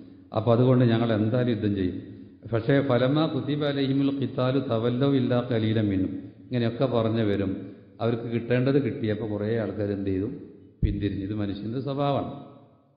പലരും അതിന് പിന്മാറി നിർത്തം വല്ലാഹു അലീമും ബില്ലാലിം വക്കാലലവും നബിയും ഇന്നല്ലാ കത് ബാസലക്കും തോലൂത്ത മലിക്ക. ആ നബി അവരോട് പറഞ്ഞു നിങ്ങളുടെ ആവശ്യപ്രകാരം അള്ള നിങ്ങൾക്കൊരു രാജാവിനെ നിശ്ചയിച്ചിട്ടുണ്ട്. അദ്ദേഹത്തിന്റെ പേര് താലൂത്ത് എന്നാണ്. അപ്പോൾ ആ തോലൂത്തിനെ പറ്റി പിന്നെ വിശദീകരിക്കുകയാണെന്ത്? ഇന്നല്ലാ സഫാഹു അലൈക്കും വദാദഹു ബസ്തമിനൽ ഇൽമി വൽ ജിസ്.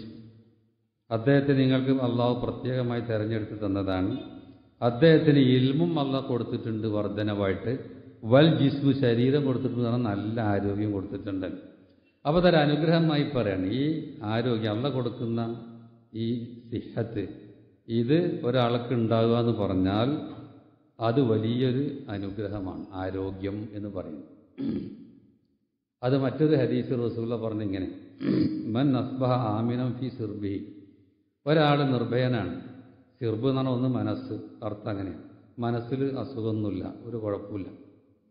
അല്ലെങ്കിൽ അവൻ ജീവിക്കുന്ന സമൂഹത്തിൽ അവൻ നിർഭയനാണ്. ഏതാണെങ്കിലും. ഒന്നുകിൽ അവന്റെ മനസ്സ് ശുദ്ധമാണ്. അങ്ങനെയുള്ള ഒരാൾ നേരത്തെ പറഞ്ഞ ചെറുക്ക് അതുപോലെ ഹസദ് ബഹീ യഹദ് പക വിദ്വേഷം അങ്ങനെ തുടങ്ങിയ കുറേ രോഗങ്ങളുണ്ട് മനസ്സിൽ മനസ്സിൽ അതിൽ നിന്നൊക്കെ ഒരാൾ നിർഭയനായി. വ മുഴാഫം ഫി ജസതി ശരീരത്തിന് നല്ല ആരോഗ്യമുണ്ട്. നല്ല ആശ്വാസമുണ്ട്. രോഗങ്ങളൊന്നുമില്ല ഒരാൾക്ക്. ഒരാൾ രോഗമില്ല പിന്നെ മനസ്സും ശുദ്ധമാണ്. ഇന്ദവും കൂത്തിയോമി അന്നേക്കുള്ള ഭക്ഷണം അവന്റെ വീട്ടിലുണ്ട്. വലിയ പണമൊന്നുമല്ല. അന്നേക്കുള്ളത് ഇങ്ങനെ ഒത്തുപോകാനുള്ള വകയുണ്ട്. എങ്കിൽ ഫഖദ് ജമാഅത്ത് ദുനിയ ബിഹദാഫീരിയ അവൻ ദുനിയ മുഴുവനും ഒരുമിച്ച് കൂട്ടിയും. അപ്പോൾ അവൻ ആരോഗ്യമുണ്ട്. അവന്റെ മനസ്സ് ശുദ്ധമാണ്. അവൻ അന്നേക്ക് ഒത്തുപോകാനുള്ള വരുമാനമുണ്ട് ഭക്ഷണമുണ്ട്. എങ്കിലും അവൻ ദുനിയാവ് മുഴുവനും ഒരുമിച്ച് കൂട്ടി ഏറ്റവും വലിയ സമ്പത്ത് അവന്റെ കയ്യിലുണ്ടായി എന്ന് പറഞ്ഞു. ആ കൂട്ടത്തിലും ഇവിടെ ആരോഗ്യം പ്രത്യേകം പറഞ്ഞല്ലോ. ഈ ആരോഗ്യത്തിന് വേണ്ടി നമ്മൾ പ്രാർത്ഥിക്കുന്ന ഒരു ദിവസം ഏത് ക്ലാസ്സിൽ പറഞ്ഞ് എനിക്ക് ഓർമ്മയുണ്ട്. ഇവിടെ തന്നെ. എന്നാൽ നിത്യവും രാവിലെയും വൈകുന്നേരം റസൂലെ പ്രാർത്ഥിച്ചിരുന്ന പ്രാർത്ഥന. അള്ളാഹുമിനി അസ്സലുക്കൽ അഫുവൽ അഫിയ ഫിദ്ദുന്യാവൽ ആഹിറ അള്ളാഹു ഞാൻ നിന്നോട് ചോദിക്കുന്നു മാപ്പ്. അതുപോലെ സുഖം. അങ്ങനെ രോഗമില്ലാത്ത അവസ്ഥ അതാണ് ആഫിയത്ത് ആശ്വാസം. ഫിദ്ദുന്യാവൽ ആഹിറ ദുനിയാവിലും പരലോകത്തിലും. അപ്പോൾ മനസ്സിനും അസ്വസ്ഥ ഉണ്ടാവരുത്. അവിടെയും വേണം രോഗശമനം അതുപോലെ ശരീരത്തിനും. അതുപോലെ അള്ളാഹുമിനി അസ്സലുക്കൽ അഫുവൽ അഫിയ ഫി ദീനീവ ദുന്യായ. എന്റെ ദീനിലും എന്റെ ദുനിയാവിലുമൊക്കെ എനിക്ക് അഫവും ആഫിയത്തും വേണം. വ അഹിലീവമാരി എന്റെ കുടുംബത്തിലും എന്റെ ധനത്തിലുമൊക്കെ എനിക്ക് ആഫിയത്ത് വേണം. പ്രശ്നങ്ങൾ വേണ്ട. സമാധാനം വേണം. സ്വസ്ഥത വേണം. അതൊക്കെ റസൂൽ സല്ലാ രാവിലെയും വൈകുന്നേരവും ഒക്കെ പ്രാർത്ഥിച്ചിരുന്ന പ്രാർത്ഥനയാണ് എന്ന് നമുക്ക് മനസ്സിലാക്കാൻ കഴിയും. ഇനി രോഗം വേറൊരുത്തിന് ബാധിക്കാൻ സാധ്യത ഉള്ള ചില മേഖലകളുണ്ട്. ഒന്ന് പറഞ്ഞാൽ പകർച്ചവ്യാധികളുണ്ടാവും. ചില രോഗങ്ങൾ ഒരാളിൽ നിന്ന് വേറെ ആൾക്ക് പകരും. അത്തരം വിഷയങ്ങളിലൊക്കെ റസൂൽ ഇടപെട്ടിട്ടുണ്ട്. സഹീ മുസ്ലിമുള്ള ഒരു ഹദീസ് ഇങ്ങനെ. എന്താണ്? കാന ഫി വഫ്തി സഖീഫ് റജുലും മജ്സൂം. സഖീഫ് ഗോത്രം നബിന്റെ അടുത്ത് വന്നു. അവരുടെ കൂട്ടത്തിൽ ഒരു പകർച്ചവ്യാധി എന്ന് പറഞ്ഞാൽ മറ്റുള്ള ആൾക്ക് പകരുന്ന ഒരു രോഗമുള്ള ഒരാളുണ്ട്. ആ കൂട്ടത്തിൽ ബയ്യത്ത് ചെയ്യാൻ വേണ്ടി വന്നതാണ്. അപ്പോൾ റസൂൽ സല്ലാ അലൈഹി സ്വലം പറഞ്ഞു ഫർസലയിലെ ഞാൻ നിർജിയൽ മടങ്ങിപ്പോയി പോന്നു. ഫഹദ് ബായാനാക്ക. താങ്കളെ നമ്മൾ ബയ്യത്ത് ചെയ്തിട്ടുണ്ട്. താങ്കൾ ഇങ്ങോട്ട് വരേണ്ടതില്ല എന്ന് പറഞ്ഞു. ബയ്യത്ത് ചെയ്തിട്ടുണ്ട് എന്ന് പറഞ്ഞു. ബയ്യത്ത് വന്നതാണ്. കാരണം അദ്ദേഹം വരുമ്പോൾ അദ്ദേഹത്തിന്റെ രോഗം ഇവർ മുഴുവൻ വ്യാപിക്കുകയാണെങ്കിൽ ആരോഗ്യത്തിന് പ്രശ്നമാണല്ലോ. അപ്പം മറ്റുള്ളവരുടെ ആരോഗ്യം പരിഗണിച്ചതാണ് അവിടെ. ഇയാടെ നിന്നോ നിന്റെ ബയ്യത്ത് നമ്മൾ സ്വീകരിച്ചിട്ടുണ്ട് എന്നാണ് പറയുന്നത്. ഇനി സഹി ബുഖാരിലെ വേറെ ഹദീസ്. ഫിറ മിനൽ മജ്സൂം. ഈ മജ്സൂം ജുസാമ് രോഗം എന്നാണ് അതൊരു മറ്റുള്ള ആൾക്കും പകരുന്നൊരു രോഗമാണ്. അവനിൽ നിന്ന് നിങ്ങൾ ഓടിപ്പോവുക. ഫിറാറക്ക മിനൽ അസദ്. സിംഹത്തിൽ നിന്ന് നിങ്ങൾ ഓടിപ്പോകുന്നത് പോലെ. ഇത് ബുഖാരി റിപ്പോർട്ട് ചെയ്ത ഹദീസാണ്. കാരണം നമ്മുടെ ആരോഗ്യം നമ്മൾ സംരക്ഷിക്കേണ്ടതുണ്ട് എന്നർത്ഥം. അത് വളരെ പ്രധാനം തന്നെയാണ് ആരോഗ്യ സംരക്ഷണം. ഇനി ബുഖാരി മുസ്ലിം സംയുക്തമായി റിപ്പോർട്ട് ചെയ്തൊരു ഹദീസ്. ലാ യൂരി തന്നെ മുമ്പിൽ നിന്നല്ല മുസിഹ് രോഗമുള്ള ഒരാൾ രോഗമില്ലാത്ത ആളുടേക്ക് വരരുത്. ഏത് പകർച്ചവ്യാധിയാണ് പറയുന്നത്. പകരുമെന്ന് ഉറപ്പുള്ള അങ്ങനെ ഇഷ്ടംപോലെ അനുഭവമുള്ള ഒരാളുടെ രോഗം മറ്റൊന്ന് പകരുന്നതാണെങ്കിൽ ആ ആരോ രോഗമില്ലാത്ത ആൾക്കാർക്ക് ഇടയിൽ വന്നിട്ട് ആ രോഗം പരത്തണ്ടാണ് കാരണം ആരോഗ്യം വളരെ പ്രധാനപ്പെട്ടത് തന്നെയാണ്. അത് ശ്രദ്ധിക്കേണ്ടതാണ്. ഇനി സഹി ബുഖാരിയിലും മുസ്ലിമിലുള്ള വേറൊരു ഹദീസ് കേട്ടോളി.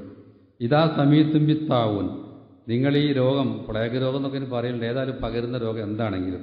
ആ രോഗം പകർച്ചവ്യാധി നിങ്ങൾ കേട്ടാൽ ബി ഒരു നാട്ടിലുണ്ട് എന്ന് കേട്ടാൽ പല തെതുഹുലുവ നിങ്ങൾ അങ്ങോട്ട് പ്രവേശിക്കരുത്. അവിടെ ആ പകർച്ചവ്യാധി വ്യാപകമായി നിൽക്കുന്നുണ്ടെങ്കിൽ നിങ്ങൾ അവിടെ പ്രവേശിക്കണ്ട. ആ രോഗമൊക്കെ മാറി എന്ന് ഉറപ്പ് വന്നിട്ട് പോയാൽ മതി. ഇനി വൈദ വക്കാബി അർലിൻ ഇനി ഒരു നാട്ടിൽ ഈ രോഗം ഉണ്ടായി നോക്കുക പക്ഷെ നിങ്ങൾ ആ നാട്ടിലുണ്ടെങ്കിൽ നിങ്ങൾ എന്ത് ചെയ്യരുത്? ഫലാ തെഹ്റൂജു മിൻഹ. നിങ്ങൾ അതിൽ നിന്ന് പുറത്തു പോകാനും പാടില്ല. എന്താ കാരണം? നമുക്കറിയാലോ. ഒരു ഈ പകർച്ചവ്യാധി ഒരു നാട്ടിലുണ്ട്. നമ്മൾ ഈ നാട്ടിലുണ്ടെങ്കിൽ നമ്മൾ പിന്നെ ഈ പകർച്ചവ്യാധി ഇല്ലാത്ത നാട്ടിൽ പോകാനും പാടില്ല. അത് അവിടെ പരത്താൻ പറ്റൂല എന്നർത്ഥം. നമ്മൾ അവിടെ നിന്നാൽ മതി. നമ്മൾ അതിനുള്ള സീഫ അള്ളഹാനോട് വേറെ ചോദിച്ചു വാങ്ങുക എന്നല്ലാതെ നമ്മൾ കാരണം വേറൊരുത്തന് ഈ അസുഖം ഉണ്ടാക്കേണ്ടതില്ല. മഹാനായ ഉമർ ഖത്താബിന്റെ പിന്നെ ജീവിതത്തിൽ അദ്ദേഹം ഭരണം നടത്തുന്ന കാലത്തുള്ള ഒരു സംഭവം. അദ്ദേഹം ലമ്മ വസല ഇത അംവാസ്. ഷാമിലുള്ള ഒരു സ്ഥലമാണ് അംവാസ് എന്ന് പറയുന്നത്. അവിടെ എത്തിയപ്പോൾ വജതത്താവുനക്കത് തപശാബിഹ അവിടെ ഈ പകർച്ചവ്യാധി ആകെ വ്യാപകമായിട്ടുണ്ടെന്ന് അറിഞ്ഞു. ഏത്? സിറിയയിൽ അവിടെ അംവാസ് എന്ന പട്ടണത്തിൽ. അപ്പോൾ ഉമർ ഖത്താബ് എന്ത് ചെയ്തു? ഫലം യദുഹുൽഹ അവിടെ പ്രവേശിച്ചില്ല. ഉമർ ഖത്താബിനെ പറ്റി പറയണം. അപ്പോൾ കാലലോ അബൂബൈദ ഈ നേരം അബൂബൈദ പറഞ്ഞു. അബൂബൈദ പറഞ്ഞ വലിയൊരു സഹാബിയാണ്. അമീനു ഹാദിയിലും ഈ ഉമ്മത്തിന്റെ വിശ്വസ്തൻ എന്ന് റസൂൽ പേരിട്ട ആളാണ് മഹാപണ്ഡിതനാണ്. അദ്ദേഹം പറഞ്ഞു ഉമർ ഖത്താബ് ഇങ്ങനെ ചെയ്തപ്പം ആ ഫിറാറമ്മീൻ കതറില്ല അള്ളാന്റെ കതറിൽ നിങ്ങൾ ഓടിപ്പോവുകയാണോ? ചോദിച്ചു. എന്താ ഇപ്പോൾ ഈ ഓട്ടം? എനിക്ക് മനസ്സിലായില്ല. അള്ളാന്റെ കതറിൽ നിങ്ങൾ ഓടിപ്പോവുകയാണോ? എന്ന് ചോദിച്ചു. യാ മിറൽ മോമിനിയും അപ്പോൾ ഖാല അപ്പോൾ ഉമർ ഖത്താബിന്റെ മറുപടി. യാ അബാ ഉബൈദ അല്ലോ വയറുക്ക കാല അബൂ ഉബൈദെ ഇങ്ങനത്തെ ഒരു വാക്ക് നിങ്ങളിൽ നിന്ന് ഞാൻ പ്രതീക്ഷിച്ചില്ല. വേറൊരുത്തൻ പറഞ്ഞിരുന്നുവെങ്കിൽ നിങ്ങളെപ്പോലുള്ളൊരു മഹാമനുഷ്യൻ പറയേണ്ട വാക്കായില്ലത്. അപ്പോൾ ചില ഇവരൊക്കെ ചിലർക്ക് അറിയില്ല എന്നുള്ളതിന് തെളിവാണിത്. നഫിറു മീൻ ഖദരില്ല ഇലാ കതരില്ല നമ്മൾ അള്ളാന്റെ വിധിയിൽ നിന്ന് ഓടുകയാണ് അള്ളാന്റെ വിധിയിലേക്കാണ് ഓടുന്നത്. ഈ ഓട്ടം അള്ള വിരിച്ചു തന്നെയാണ് നൃത്തം നമ്മൾ അങ്ങോട്ട് പോകുന്നില്ല. നമ്മൾ ഓടി പോകാനാണ് അള്ള വിരിച്ചിട്ടുള്ളത് എന്ന് താങ്കൾ മനസ്സിലാക്കുക. അപ്പോൾ ഇവർക്കിടയിൽ ഒരു ആശയക്കുഴപ്പം വന്നല്ലോ. അബൂബൈദ അതുപോലെ ഉമർ അപ്പോൾ അപ്പോൾ അബൂബൈദന്റെ അഭിപ്രായം അവിടെ ഈ പ്ലേഗ് രോഗം ഉണ്ടെങ്കിലും അല്ലെങ്കിൽ പകർച്ചവ്യാധി ഉണ്ടെങ്കിലും അങ്ങോട്ട് പ്രവേശിക്കില്ല. അള്ളാന്റെ വിധിയല്ല നമ്മളെന്തിനാണ് ഓടണതെന്ന് ഉമർ ഖത്താബ് അല്ല അങ്ങോട്ട് പ്രവേശിക്കാൻ പറ്റൂല. ഈ നേരം ഒരു സഹാബി വന്ന് അബ്ദുറഹ്മാനുബിനാവും. നിങ്ങൾ തർക്കിക്കേണ്ട ആ വിഷയത്തിൽ അന്തിമമായൊരു തീരുമാനം റസൂലിൽ നിന്ന് ഞാൻ കേട്ടിട്ടുണ്ട്. അത് ഞാൻ പറഞ്ഞുതരാന്ന്. അപ്പോൾ അദ്ദേഹം പറയാണ് എന്താ പറഞ്ഞത്? റസൂൽ സല്ലാ അലൈഹി സ്വലം പറയുന്നത് ഞാൻ കേട്ടിട്ടുണ്ട്. സമീത്തു റസൂൽ അള്ളാഹ് സല്ലാ അലൈഹി സ്വലം യക്കോൽ ഇതാ കാന താവുനു ബി അർലിൻ ഒരു നാട്ടിൽ ഈ രൂപത്തിലുള്ള പകർച്ചവ്യാധികൾ ഉണ്ടെങ്കിൽ വൻതുഫിയ നിങ്ങൾ അവിടെ ഉണ്ട് അപ്പോൾ. നമ്മളുള്ള നാട്ടിലാണ് ഈ രോഗമുള്ളതെങ്കിൽ. ഫലാ തഹ്റുജുമിൻ അതിൽ നിങ്ങൾ പുറത്തു പോകാൻ പാടില്ല. എന്നാൽ വൈദാ സമയത്തും ഫി അർലിൻ. ഇനി ഒരു ഭൂമിയിൽ അതുണ്ട് നിങ്ങൾ കേട്ടു. പക്ഷെ നിങ്ങൾ അവിടെ അല്ല എങ്കിൽ ഫല തഖ്ദുമു അലയ അങ്ങോട്ട് ഇങ്ങോട്ട് പ്രവേശിക്കും ചെയ്യരുത്. അതുകൊണ്ട് നമ്മളിപ്പോൾ ഷാമിൽ എത്തിയിട്ടില്ല. അവിടെയാണ് ആ രോഗമുള്ളത്. നമ്മളിപ്പോൾ എന്ത് ചെയ്യണം? മടങ്ങി പോവാണ് പോകേണ്ടത്. റസൂൽ സല്ലല്ലാഹു അലൈഹി വസല്ലം അങ്ങനെ പറഞ്ഞിട്ടുണ്ട്. ആ രോഗം നമ്മളെയും കൂടി ശരീരത്തിലേക്ക് ഏറ്റുവാങ്ങേണ്ടതില്ല. നമുക്ക് ആരോഗ്യ സംരക്ഷണം എന്നുള്ളത് വളരെ പ്രധാനപ്പെട്ട വിഷയമാണ്. രോഗം ചോദിച്ചു വാങ്ങുന്ന ഏർപ്പാട് നമ്മുടെ അടുത്തില്ല എന്നാണ് ഇപ്പോൾ ഇവിടെ പറഞ്ഞിട്ടുള്ളത്. ഇനി നിങ്ങൾ നോക്ക് ശുദ്ധിയുമായി ബന്ധപ്പെട്ട് ഒന്ന് അഞ്ച് നേരം ഏറ്റവും ചെറിയ യോഗം ഉണ്ടാക്കണം നമ്മൾ. ഏറ്റവും ചുരുങ്ങിയതാണ് ഇപ്പോൾ ഈ പറയുന്നത് കേട്ടോ. അഞ്ച് നേരം എന്ന് പറഞ്ഞാൽ ചിലപ്പോൾ അഞ്ച് നേരം കുറയും ജമ്മൊക്കെ ആക്കുമ്പോൾ ചിലപ്പോൾ ഇല്ല. എന്നാലും അതല്ലാത്ത സുന്നത്തിന്റെ സമയമോ രാത്രി കിടന്നുറങ്ങുമ്പോഴോ ഒക്കെ ഏതായാലും അഞ്ച് നേരത്തെ നിസ്കാരത്തിന് നമ്മൾ കൈകളും മുഖമൊക്കെ ശരിക്കും വൃത്തിയാക്കിയാണ്. ഈ വൃത്തി ആരോഗ്യ സംരക്ഷണത്തിൽ വലിയ പ്രധാനപ്പെട്ട വിഷയമാണല്ലോ. അപ്പോൾ ഈ വൃത്തിന്റെ വിഷയം ഇസ്ലാം വളരെ പ്രാധാന്യപൂർവം നമ്മെ പഠിപ്പിക്കുന്നുണ്ട്. ഒരിക്കൽ റസൂല്ല പറഞ്ഞു അല അതുല്ലുക്കും അലാമ യംഹുല്ലാഹു ബിൽ ഖത്തായ. നിങ്ങളെ തിന്മകളൊക്കെ മാച്ചു കളയുന്ന രണ്ട് തരം ശുദ്ധീകരണം അവിടെ നടക്കുന്ന ഒതു കൊടുക്കൽ വഴി. ഒതു കൊടുക്കുമ്പോൾ തന്നെ നിസ്കരിക്കുമ്പോൾ ഒക്കെ രണ്ട് തരം ശുദ്ധീകരണം. നിങ്ങളുടെ പാപങ്ങളെ മായ്ച്ചു കളയുന്ന കാര്യം ഞാൻ നിങ്ങൾക്ക് പറഞ്ഞു തരട്ടെയോ? പിന്നെയോ വയുർഫൗ ബി നിങ്ങളെ സ്വർഗത്തിലെ പദവികൾ ഉയർത്തുന്ന കാര്യം സാബികൾ പറഞ്ഞു അതേ എന്ന് പറഞ്ഞു. അപ്പോൾ ഇസ്ബാഹുൽ ഉളു അലൽ മക്കാരി വെറുക്കപ്പെട്ട സമയമാണെങ്കിലും ഒതു പൂർണമായി എടുക്കുക. വെറുക്കപ്പെട്ട സമയം എന്ന് പറഞ്ഞാൽ ചിലവ് നല്ല ചൂടുള്ള വെള്ളമായിരിക്കും. അത് അവിടെ ഇവിടേക്കായ ആകെ പ്രശ്നമാണ്. എന്നാലും ഒതുവിന്റെ വെള്ളം എത്തേണ്ടടുത്ത് മുഴുവൻ എത്തണം. അതൊരു ചെറിയ പോയിന്റ് പോലും നനയാതിരിക്കാൻ പറ്റില്ല. മുഴുവൻ നനയും. അല്ലെങ്കിൽ കൊടും തണുപ്പാണെന്ന് വെക്കുക. അപ്പോൾ ചില ആൾക്കാർ ഓതുകൊണ്ട് ഇങ്ങനെ കാട്ടിക്കൂട്ടും. അത് പറ്റില്ല. ഓത് പൂർണമായി എടുക്കണം. നമ്മളേതാനും ഒരുങ്ങിയാണ്. ഓത് പൂർത്തിയാകാതെ ചെറിയ സ്ഥലമൊക്കെ നനയാത്ത പ്രശ്നം ഉണ്ടാകുമ്പോൾ തന്നെ റസൂൽ അതൊക്കെ മടക്കി ഒതുകൊടുക്കാൻ പോകുന്ന സംഭവമുണ്ട്. മറ്റൊരൊക്കെ ചിലരുടെ മടമ്പും കാലിൽ ചെറിയൊരു നനവ് ഇല്ലാതെ വന്നപ്പോൾ തന്നെ വൈരുലില്ല അഫാബി മിനന്നാർ ആ നരകത്തിൽ നിന്നുള്ള മടമ്പും കാലുകൾക്ക് നാശം എന്നൊക്കെ റസൂൽ സല്ലാ അലൈഹി സ്വലം പറഞ്ഞു വെച്ചിട്ടുണ്ട് അപ്പോൾ ഇത്ര പ്രശ്നം ഉള്ള സമയമാണെങ്കിലും നിങ്ങൾ ഒന്ന് പൂർണമായി എടുക്കണം. അത് നമ്മുടെ പാപങ്ങൾക്കുള്ള പരിഹാരമാണ്. നമ്മളെ ശുദ്ധീകരിക്കരുത് മനുഷ്യന്റെ ശരീരത്തിലെ അഴുക്കുകൾ ശുദ്ധീകരിക്കും. അതിന് പുറമെ നമ്മുടെ ഹൃദയത്തിൽ അടിഞ്ഞുകൂടിയ തിന്മകളൊക്കെ ഇല്ലായ്മ ചെയ്യാൻ നമ്മൾ ചെയ്തു കൂട്ടിയ തിന്മകൾ ഇല്ലായ്മ ചെയ്യാനുള്ള സംവിധാനവും കൂടി ആണ് അത്. മറ്റൊന്ന് ശുദ്ധീകരണമാണ് പല്ല് വൃത്തിയാക്കുക എന്നത് പല്ല് തേക്കുക. അതിനെപ്പറ്റി റസൂൽ സല്ലാ അലൈഹി സ്വല്ലം പറഞ്ഞത് എന്റെ ഉമ്മത്തിന് ബുദ്ധിമുട്ടാക്കുകയില്ല. ഞാനത് കൽപ്പിച്ചാൾക്ക് ബുദ്ധിമുട്ടാകുമായിരുന്നില്ലെങ്കിൽ എല്ലാ ഒന്നു കൊടുക്കുമ്പോഴും ഓരോട് ഞാൻ പല്ല് തേക്കാൻ പറയുമായിരുന്നു. അപ്പോൾ അഞ്ച് നേരം നിർബന്ധമാക്കുമായിരുന്നു പല്ല് തേക്കുക എന്നുള്ളത്. അപ്പോൾ പല്ല് വൃത്തിയാക്കുക. അതല്ലെങ്കിൽ അവിടെ ഇവിടെ കടിഞ്ഞു കൂടുന്ന കാര്യം. അതൊക്കെ നമ്മുടെ പല്ലിന്റെ ആരോഗ്യത്തിന്റെ പ്രശ്നമാണ്. നമ്മുടെ പല്ലിന്റെ ആരോഗ്യമൊക്കെ നമ്മൾ ശ്രദ്ധിക്കണം എന്നുള്ളത് മതം നമ്മോട് പറയുന്ന വിഷയമാണെന്ന് പറയുന്നത്.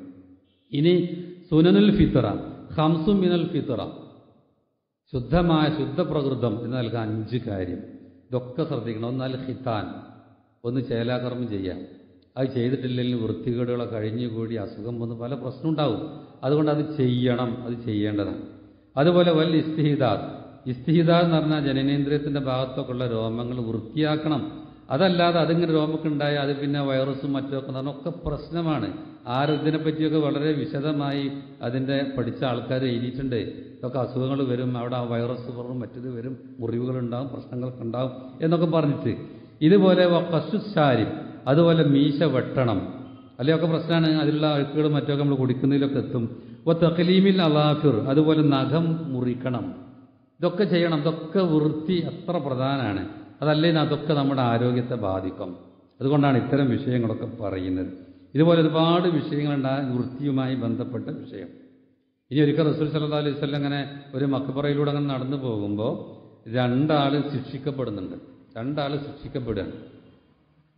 അപ്പോൾ കൂടെയുള്ള സഹാബികൾക്ക് പറഞ്ഞു കൊടുത്തു വമാ യുദ്ദബാനി ഫി കബീർ. വലിയ തിന്മ ചെയ്തിട്ടൊന്നുമല്ല. നമ്മുടെ കണക്കിലുള്ള വലിയ തിന്മയൊന്നും പോലും ചെയ്തിട്ടുണ്ടാവില്ല. പൊതുവെ ആൾക്കാർ കാണുന്ന വലിയ തിന്മയായിട്ട് കാണുന്നൊന്നുമല്ല അവർ ചെയ്ത തിന്മ എന്താണെന്നറിയോ അമ്മ അഹദുഹും അതിൽ ഒരാൾ ഫക്കാനല എസ്തബിരു മിനൽ ബൗൽ. അയാൾ മൂത്രിക്കുമ്പോൾ ശ്രദ്ധിക്കാറില്ല. ഒന്നില്ല ഇസ്തിർ മറ സ്വീകരിക്കുക എന്ന് പറഞ്ഞാൽ ഒന്നുകിലും മൂത്രിക്കുമ്പോൾ ഇസ്തിത്താർ നടത്തി ഇസ്തിബ്രാഗ് നടത്തുക എന്ന് പറഞ്ഞാൽ ഒന്നുകിലും മൂത്രം മുഴുവൻ എല്ലാം മുറിഞ്ഞു പോകുന്നത് വരെ ഇരിക്കാറില്ല എന്നാണ് ഇതിനർത്ഥം. പിന്നെ എഴുന്നേറ്റ് കഴിഞ്ഞാൽ ചില മൂത്രം മുറ്റും അത് ശരിയല്ല വൃത്തികേടാണ്. മറ്റൊന്ന് അവനത് ചെയ്യുമ്പോൾ ചിലപ്പോൾ ഇങ്ങോട്ട് തെറിക്കുന്ന രൂപത്തിലാവും മൂത്രിക്കുമ്പോൾ മൂത്രം തന്നെ ശരീരത്തിലേക്ക് തെറിക്കുന്ന രൂപത്തിൽ ആവും. അതും പറ്റില്ല. വൃത്തികേട് പോകുന്ന വേണം. നമുക്ക് നല്ല വൃത്തി വേണം. അതൊക്കെ നമ്മുടെ ശരീരത്തിന് പ്രശ്നമാണ്. അപ്പോൾ ഏതായാലും ശരി അത് ശ്രദ്ധിക്കാത്ത ആളായിരുന്നു. അയാൾ കബറിന്ന് ശിക്ഷിക്കപ്പെടുകയാണെന്നാണ് പറയുന്നത്. അപ്പോൾ അതിന് ശിക്ഷയും കിട്ടുന്നുണ്ട് നാം പറയും ഇനി നിങ്ങൾ ചില ചില വിഷയങ്ങൾ ആലോചിച്ച് എന്തുകൊണ്ടാണ് കള്ള് കുടിക്കാൻ പാടില്ല എന്ന് പറഞ്ഞത്? അത് പ്രശ്നമാണ് നമ്മുടെ ആരോഗ്യത്തിന്. നമ്മുടെ ബുദ്ധിക്ക് പ്രശ്നമാണ് നമ്മുടെ ആരോഗ്യക്ക് പ്രശ്നമാണ്. ഒന്ന് കള്ള് കുടി നമ്മുടെ ശരീരത്തിന് ഹാനികരമായ കാര്യങ്ങൾ ലഹരി പദാർത്ഥങ്ങൾ വേറെ എന്തൊക്കെ ഉണ്ടോ നമ്മുടെ ഹൃദ്രോഗവും അതുപോലെ ഹൃദയ പിന്നെ ക്യാൻസറും മറ്റൊക്കെ ഉണ്ടാവാനുള്ള പല കാരണങ്ങൾ കൊണ്ട് നമുക്ക് അറിഞ്ഞൂടെ. നമ്മുടെ ശരീരത്തിന് വേണ്ടാത്തത് നമ്മൾ തന്നെ പുകവലിയാണെങ്കിലും വേറെ എന്താണ് നമ്മൾ ഇങ്ങനെ ചെയ്യും. ഇതൊന്നും പറ്റില്ല നമ്മുടെ നീൽ അപ്പോൾ കള്ള് കുടിക്കാൻ പാടില്ല മറ്റുള്ള തിന്മകൾ ചെയ്യാൻ പാടില്ല വ്യഭിചാരം ചെയ്യാൻ പാടില്ല അതുപോലുമായി ബന്ധപ്പെട്ട എന്തൊക്കെയുണ്ട് ഇത്തരം തിന്മകളൊന്നും വരാൻ പാടില്ല. അതൊക്കെ അള്ളാഹിനത് വലിയ കുറ്റും കിട്ടുക ചെയ്താൽ ഇവിടുന്ന് തന്നെ പല രൂപത്തിലുള്ള പകർച്ചവ്യാധികളും മറ്റുമൊക്കെ ഉണ്ടാകുന്ന റസൂൽ സല്ലാ വസ്ലം മുൻകൂട്ടി തന്നെ പ്രവചനം നടത്തിയിട്ടുണ്ട് എന്നർത്ഥം. അപ്പോൾ നമ്മുടെ ആരോഗ്യത്തിന് വളരെ പ്രധാനമാണ്. അതുകൊണ്ട് ഈ കാര്യങ്ങളൊക്കെ ഒഴിവാക്കാൻ പറഞ്ഞു പിന്നെ ഇനി ഇങ്ങനെയൊക്കെ ശ്രദ്ധിച്ചാലും രോഗം വരില്ല വരും. വന്നാൽ തന്നെ ചികിത്സ ഏർപ്പെടുത്തി നമ്മുടെ ആരോഗ്യം സംരക്ഷിക്കാൻ തന്നെയാണ്. ചികിത്സിക്കണ്ടേ? രണ്ട് തരം ചികിത്സ ഞാൻ തുടക്കത്തിൽ പറഞ്ഞു. അൽ ഇലാജു ഇലാജാനി എന്ന് പറയും. രണ്ട് തരം ചികിത്സയാണ്. ഒന്ന് നമ്മൾ ഭൗതികമായ ഡോക്ടർക്ക് പോയിട്ട് ചികിത്സ നടത്തൂലേ? അത് വേണം. ചികിത്സ നടത്തണം. അവിടെ ഞാൻ നേരത്തെ പറഞ്ഞു ശ്രദ്ധിക്കേണ്ട എന്താണ് ഹറാമായതുകൊണ്ട് ചികിത്സ പാടില്ല. ചിലർ മ്യൂസിക് ചികിത്സ പറ്റുമെന്നൊക്കെ ചോദിക്കുന്നുണ്ട് അത് ഹറാമാണ്. ഹറാമായ ചികിത്സ ചിലപ്പോൾ നമുക്ക് ആശ്വാസം തോന്നിയേക്കാം. അത് ആശ്വാസം ഉണ്ടോ ഇല്ലേ എന്നതല്ല വിഷയം. അള്ള ഹറാമാക്കിയത് കൊണ്ടുള്ള ഒരു ചികിത്സ ഇസ്ലാമിൽ ഇല്ല എന്നാണ് ഇതുപോലെ കള്ളുകൊണ്ടുള്ള ചികിത്സ അത് പറ്റില്ല. ഇങ്ങനെ അള്ള ഹറാമാക്കിയ ചില കാര്യങ്ങളുണ്ട്. അതുകൊണ്ട് ഒരാൾക്ക് ശമനം വരുന്നുണ്ടെന്ന് അയാൾ വാദിച്ചാൽ തന്നെ ആ ചികിത്സ പറ്റില്ല. അപ്പോൾ ദീന് സബബാക്കിയ വിഷയങ്ങളുണ്ടാവും. ഇന്നെ മരുന്നുകൾ അതൊക്കെ സബബാക്കി നമ്മൾ ഗവേഷണം നടത്തി കണ്ടെത്തിയാൽ ശരി. അതൊക്കെ അള്ള നിശ്ചയിച്ചത് തന്നെയാണ്. അത് നമുക്ക് ചെയ്യാവുന്നതാണ്. ഇനി അതല്ലേ നമ്മുടെ രോഗശമനത്തിന് വേണ്ടി വേറൊരു മാർഗമാണല്ലോ ഇസ്ലാം പഠിപ്പിച്ചു തന്നിട്ടുള്ളത് എന്താണ്? അത് റുഖിയ ഷറിയ നമുക്കൊക്കെ അറിയുന്ന വിഷയമാണ്. ഇസ്ലാം അനുവദിച്ച മന്ത്രങ്ങളുണ്ട് ചില ദിക്കറുകളൊക്കെ അത് നമുക്ക് നടത്താവുന്നതാണ്. അവിടെയും എന്ത് ചെയ്യാൻ പറ്റില്ല? കറാമായ മന്ത്രങ്ങളുണ്ട് ചിർക്കൻ മന്ത്രങ്ങളുണ്ട് അത് പറ്റൂല അത് ശ്രദ്ധിക്കണം. ഉദാഹരണത്തിന് റസൂൽ സല്ലാ അലൈഹി സ്വല്ലം പറയാണ് മൻ താലഖ തെമീമത്തൻ ഫഖദ് അഷറക്ക ഒരാൾ ഒരു ഏലസ് കെട്ടി ഓൻ ശുറുക്ക് ചെയ്തു എന്നാണ് ഓ രോഗശമനത്തിന് വേണ്ടി ശരീരത്തിൽ ഏലസ് കെട്ടുകയാണ്. അപ്പം എന്താ അതിന്റെ അസുഖം മാറ്റും? ഓ പിന്നെ സബമുഖം തന്നെ കൂടുകയാണ് ഓ അയിമ കൂടി. അതാണ് ഓനെ പിന്നെ അതിലേക്ക് ഏൽപ്പിക്കും എന്ന് പറഞ്ഞേ. അപ്പം അങ്ങനത്തെ ഒരു ഏർപ്പാട് ഇസ്ലാമിലില്ല. റസൂല പറഞ്ഞാണ് ആചാരി പരിപാടി വേണ്ട. മറ്റൊരു ഹദീസിലുള്ളത് ഇങ്ങനെയാണ്. സമീത്ത് റസൂൽ അള്ളാഹി സല്ലാ അലൈഹി സ്വലം യഹൂൽ റസൂൽ പറയുന്നത് ഞാൻ കേട്ടുന്നുണ്ട് മസൂദ് അലിയുള്ളവന് പറയാൻ ഇന്നർ റുക്കാവത്തമായും ഈ ദുർമന്ത്രങ്ങൾ അതുപോലെ ഏലസുകൾ വത്തിവല ചിർഖുൻ അതുപോലെ ഭാര്യ ഭർത്താക്കന്മാർ അകന്നിട്ടുണ്ടെങ്കിൽ അടുപ്പിക്കാനുള്ള എന്തോ ഒരു പരിപാടി. ഇതൊക്കെയാണ് ഈ തീവലത്ത് എന്ന് പറയുന്നത്. ഇതൊന്നും അള്ള നിശ്ചയിച്ച സബബുകളല്ല. അള്ള നിശ്ചയിക്കാത്ത സബബിന്റെ പിന്നാലെ പോകാൻ പറ്റില്ല. അതുകൊണ്ട് ഷിർഖുൻ അത് ഷിർക്കാണ് എന്നാണ് ഇവിടെ പറഞ്ഞിട്ടുള്ളത്. അതുപോലെ ഉദയ്ഫർ അലി അള്ളാഹുവിന് ഒരു രോഗിയെ സന്ദർശിച്ചപ്പോൾ അദ്ദേഹത്തിന്റെ ശരീരത്തിൽ ഒരു നൂൽ കണ്ടു. ഒരു നൂൽ കെട്ടിയിട്ടുണ്ട് നൂൽ ശരീരത്തിലെ രോഗശമനത്തിന് വേണ്ടി. അപ്പോൾ ഹുദൈഫ് അദ്ദേഹത്തോട് പറഞ്ഞു ലോ മുത്ത വഹു അലയിക്ക ഈ ഈ നൂലും കെട്ടിയിട്ടാണ് മരിച്ചു പോയാൽ മാ സൊല്ലയിത്തുലേക്ക് നിന്റെ പേരിൽ ഞാൻ നിസ്കരിക്കൂല. കാരണം റസൂൽ രോഗശമനത്തിന് വേണ്ടി നിശ്ചയിച്ച മാർഗങ്ങളല്ല സ്വീകരിച്ചിട്ടുള്ളത് അള്ളാഹിന്റെ ദീൻ അല്ലെ? അള്ളാഹു സുബാനുത്താല സഭവാക്കാത്ത കാര്യം അതുപോലെ വിലക്കിയ വിഷയം. ഇതൊക്കെ വിലക്കിയതാണ്. അങ്ങനെ ചെയ്യാൻ പാടില്ല എന്ന് പറഞ്ഞതാണ്. ആ രൂപത്തിലാണ് നീ ചെയ്തിട്ടുള്ളത്. അതുകൊണ്ട് നീ അപകടത്തിലാണ്. നിനക്ക് വേണ്ടി ഞാൻ മയ്യത്തിനെ നിസ്കരിക്കൂല എന്ന് പറഞ്ഞു. ഇതുപോലെ ഇങ്ങനെയൊക്കെ ചെയ്യുന്നവരുണ്ടാവും. ഈ മന്ത്രവാദങ്ങൾ നടത്തുന്നവരുണ്ടാവും. മന്ത്രവാദം എന്ന് പറഞ്ഞാൽ നിനക്കറിയാലോ? അള്ളാഹുവിന്റെ ദീന് പഠിപ്പിക്കാത്ത മന്ത്രങ്ങളാണ് പറയുന്നത് വേറെ ചിലർ സാന്ദർഭികമായി ഞാൻ സൂചിപ്പിക്കുകയാണ്. ഇസ്ലാം അനുവദിച്ച മന്ത്രത്തെയും മന്ത്രവാദം എന്ന് പറയുന്നുണ്ട് അതിലുള്ള ശിക്ഷ അവരെ നേച്ചു വാങ്ങിക്കോളും എന്നെല്ലാം പറയില്ല. അള്ളാഹിന്റെ ദീനെതിരാണ് അവരാ കളിക്കുന്നത് എന്ന് കൂടി സാന്ദർഭികമായി സൂചിപ്പിക്കണം. അള്ളാഹിന്റെ ദീനുള്ളതൊക്കെ ഉള്ളത് തന്നെയാണ് നമ്മൾ എതിർത്തിട്ട് കാര്യമല്ല അതേസമയം മന്ത്രവാദികളുണ്ട്. അതെന്താ? അള്ള നിശ്ചയിക്കാത്ത രൂപത്തിൽ അവർ ചില പിശാചിക്കളൊക്കെ ഉപയോഗിച്ചിട്ട് പലതും ചെയ്യും. ഇതിനാണ് സാഹിറന്മാർ സിഹർ ചെയ്യുന്നവർ. സിഹർ ചെയ്യുന്നവർ. മാരണക്കാർ ഈ സീർ ചെയ്യുന്ന ആൾക്കാർ ലോകത്ത് ഇഷ്ടം പോലെ ഉണ്ട്. അങ്ങോട്ട് പോകാൻ പാടില്ല. ചികിത്സ തേടി അങ്ങോട്ട് പോകാൻ പാടില്ല. അത്തരം ആൾക്കാർ അവരെടുത്തുന്നതാണ് അവരെയാണ് ഷാഫിയായിട്ട് കാണുന്നത്. അവരാണ് രോഗം സുഖപ്പെടുത്തുന്നവർ. അവരെ മേൽ തവക്കുൽ ചെയ്യാൻ. അവർ വൈബറിയെന്നൊക്കെ വിശ്വസിക്കുന്നത്. അവർക്ക് മറഞ്ഞ കാര്യങ്ങൾ അറിയുന്നൊക്കെ വിശ്വസിക്കുന്നത്. ഇതുപോലെ പിന്നെ അറാഫ്. മന്നത്ത അറാഫൻ എന്നൊക്കെ റസൂല പറഞ്ഞിട്ടുണ്ടല്ലോ. ഈ കണക്ക് നോട്ടക്കാരൻ. അവന്റെ അടുത്ത് പോവുക തന്റെ ആവശ്യത്തിന് വേണ്ടിയിട്ട്. എന്ത് കാര്യത്തിനാണെങ്കിലും. അവന്റെ അടുത്ത് പോയി ഞാൻ വെറുതെ ഒന്ന് പോകണം എന്താ പറയണത് കേൾക്കട്ടെ എന്ന് പറഞ്ഞാൽ തന്നെ നാൽപ്പത് ദിവസം ഓനെ നിസ്കാരം തന്നെ സ്വീകരിക്കൂല എന്നാ ഞാൻ സ്വീകരിക്കാനൊന്നുമില്ല വെറുതെ ഒന്ന് പോയി നോക്കിയതാണ്. എന്ന് പറഞ്ഞാൽ തന്നെ നാൽപ്പത് ദിവസം നിസ്കാരം സ്വീകരിക്കൂല. എന്നാൽ സ്വന്തക്കോ ബിമായോ ലോകം പറഞ്ഞ് സത്യപ്പെടുത്തിയാലോ? പക്കത് കഫറ ബിമ ഉൻസില അല മുഹമ്മദ്. മുഹമ്മദ് നബി കറക്കപ്പെട്ടതിൽ അവൻ അവിശ്വസിച്ചിരിക്കുന്നു. അത്ര അപകടം പിടിച്ച വിഷയമാണ്. അവർ രോഗശമനത്തിന് വേണ്ടി തങ്ങമാരെടുത്ത ഭീമരാര സിഹറന്മാരാണെങ്കിലും അവരെ മന്ത്രങ്ങൾ നോക്കണം എന്നാണ്. ചെറുക്കന്മാർ അവരുടെ മന്ത്രം വളരെ അപകടമുള്ളതായിരിക്കും. മന്ത്രം വളരെ വ്യക്തമായിരിക്കണം. മന്ത്രിക്കുന്നവർ അതിന് ചില നിബന്ധനകളുണ്ട്. ആ മന്ത്രം എന്താണ് വിശുദ്ധ ഖുർആാനിലോ ഹദീസിലോ എന്ന ദിക്റുകളായിരിക്കണം. അല്ലെങ്കിൽ ആ അർത്ഥം അറിയുന്നതായിരിക്കണം.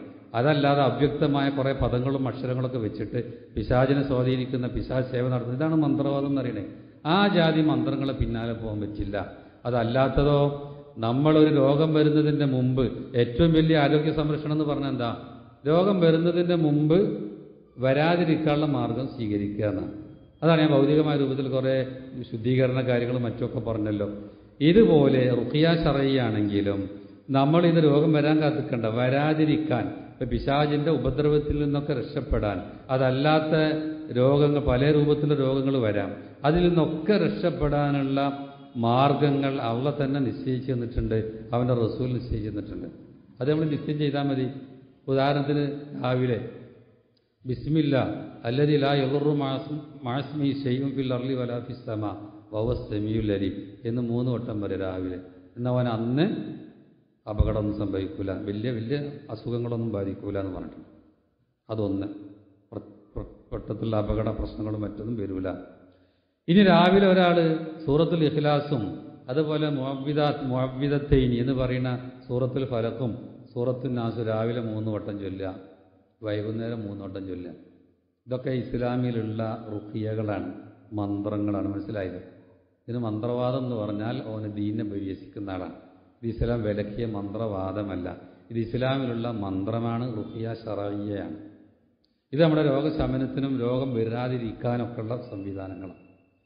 അതുപോലെ അപ്പോൾ അത് മൂന്നെണ്ണം ജില്ല അത് തന്നെ മതിയോനെന്നാണ് അത് വളരെ ഈമാനോട് കൂടി ചെയ്യണം.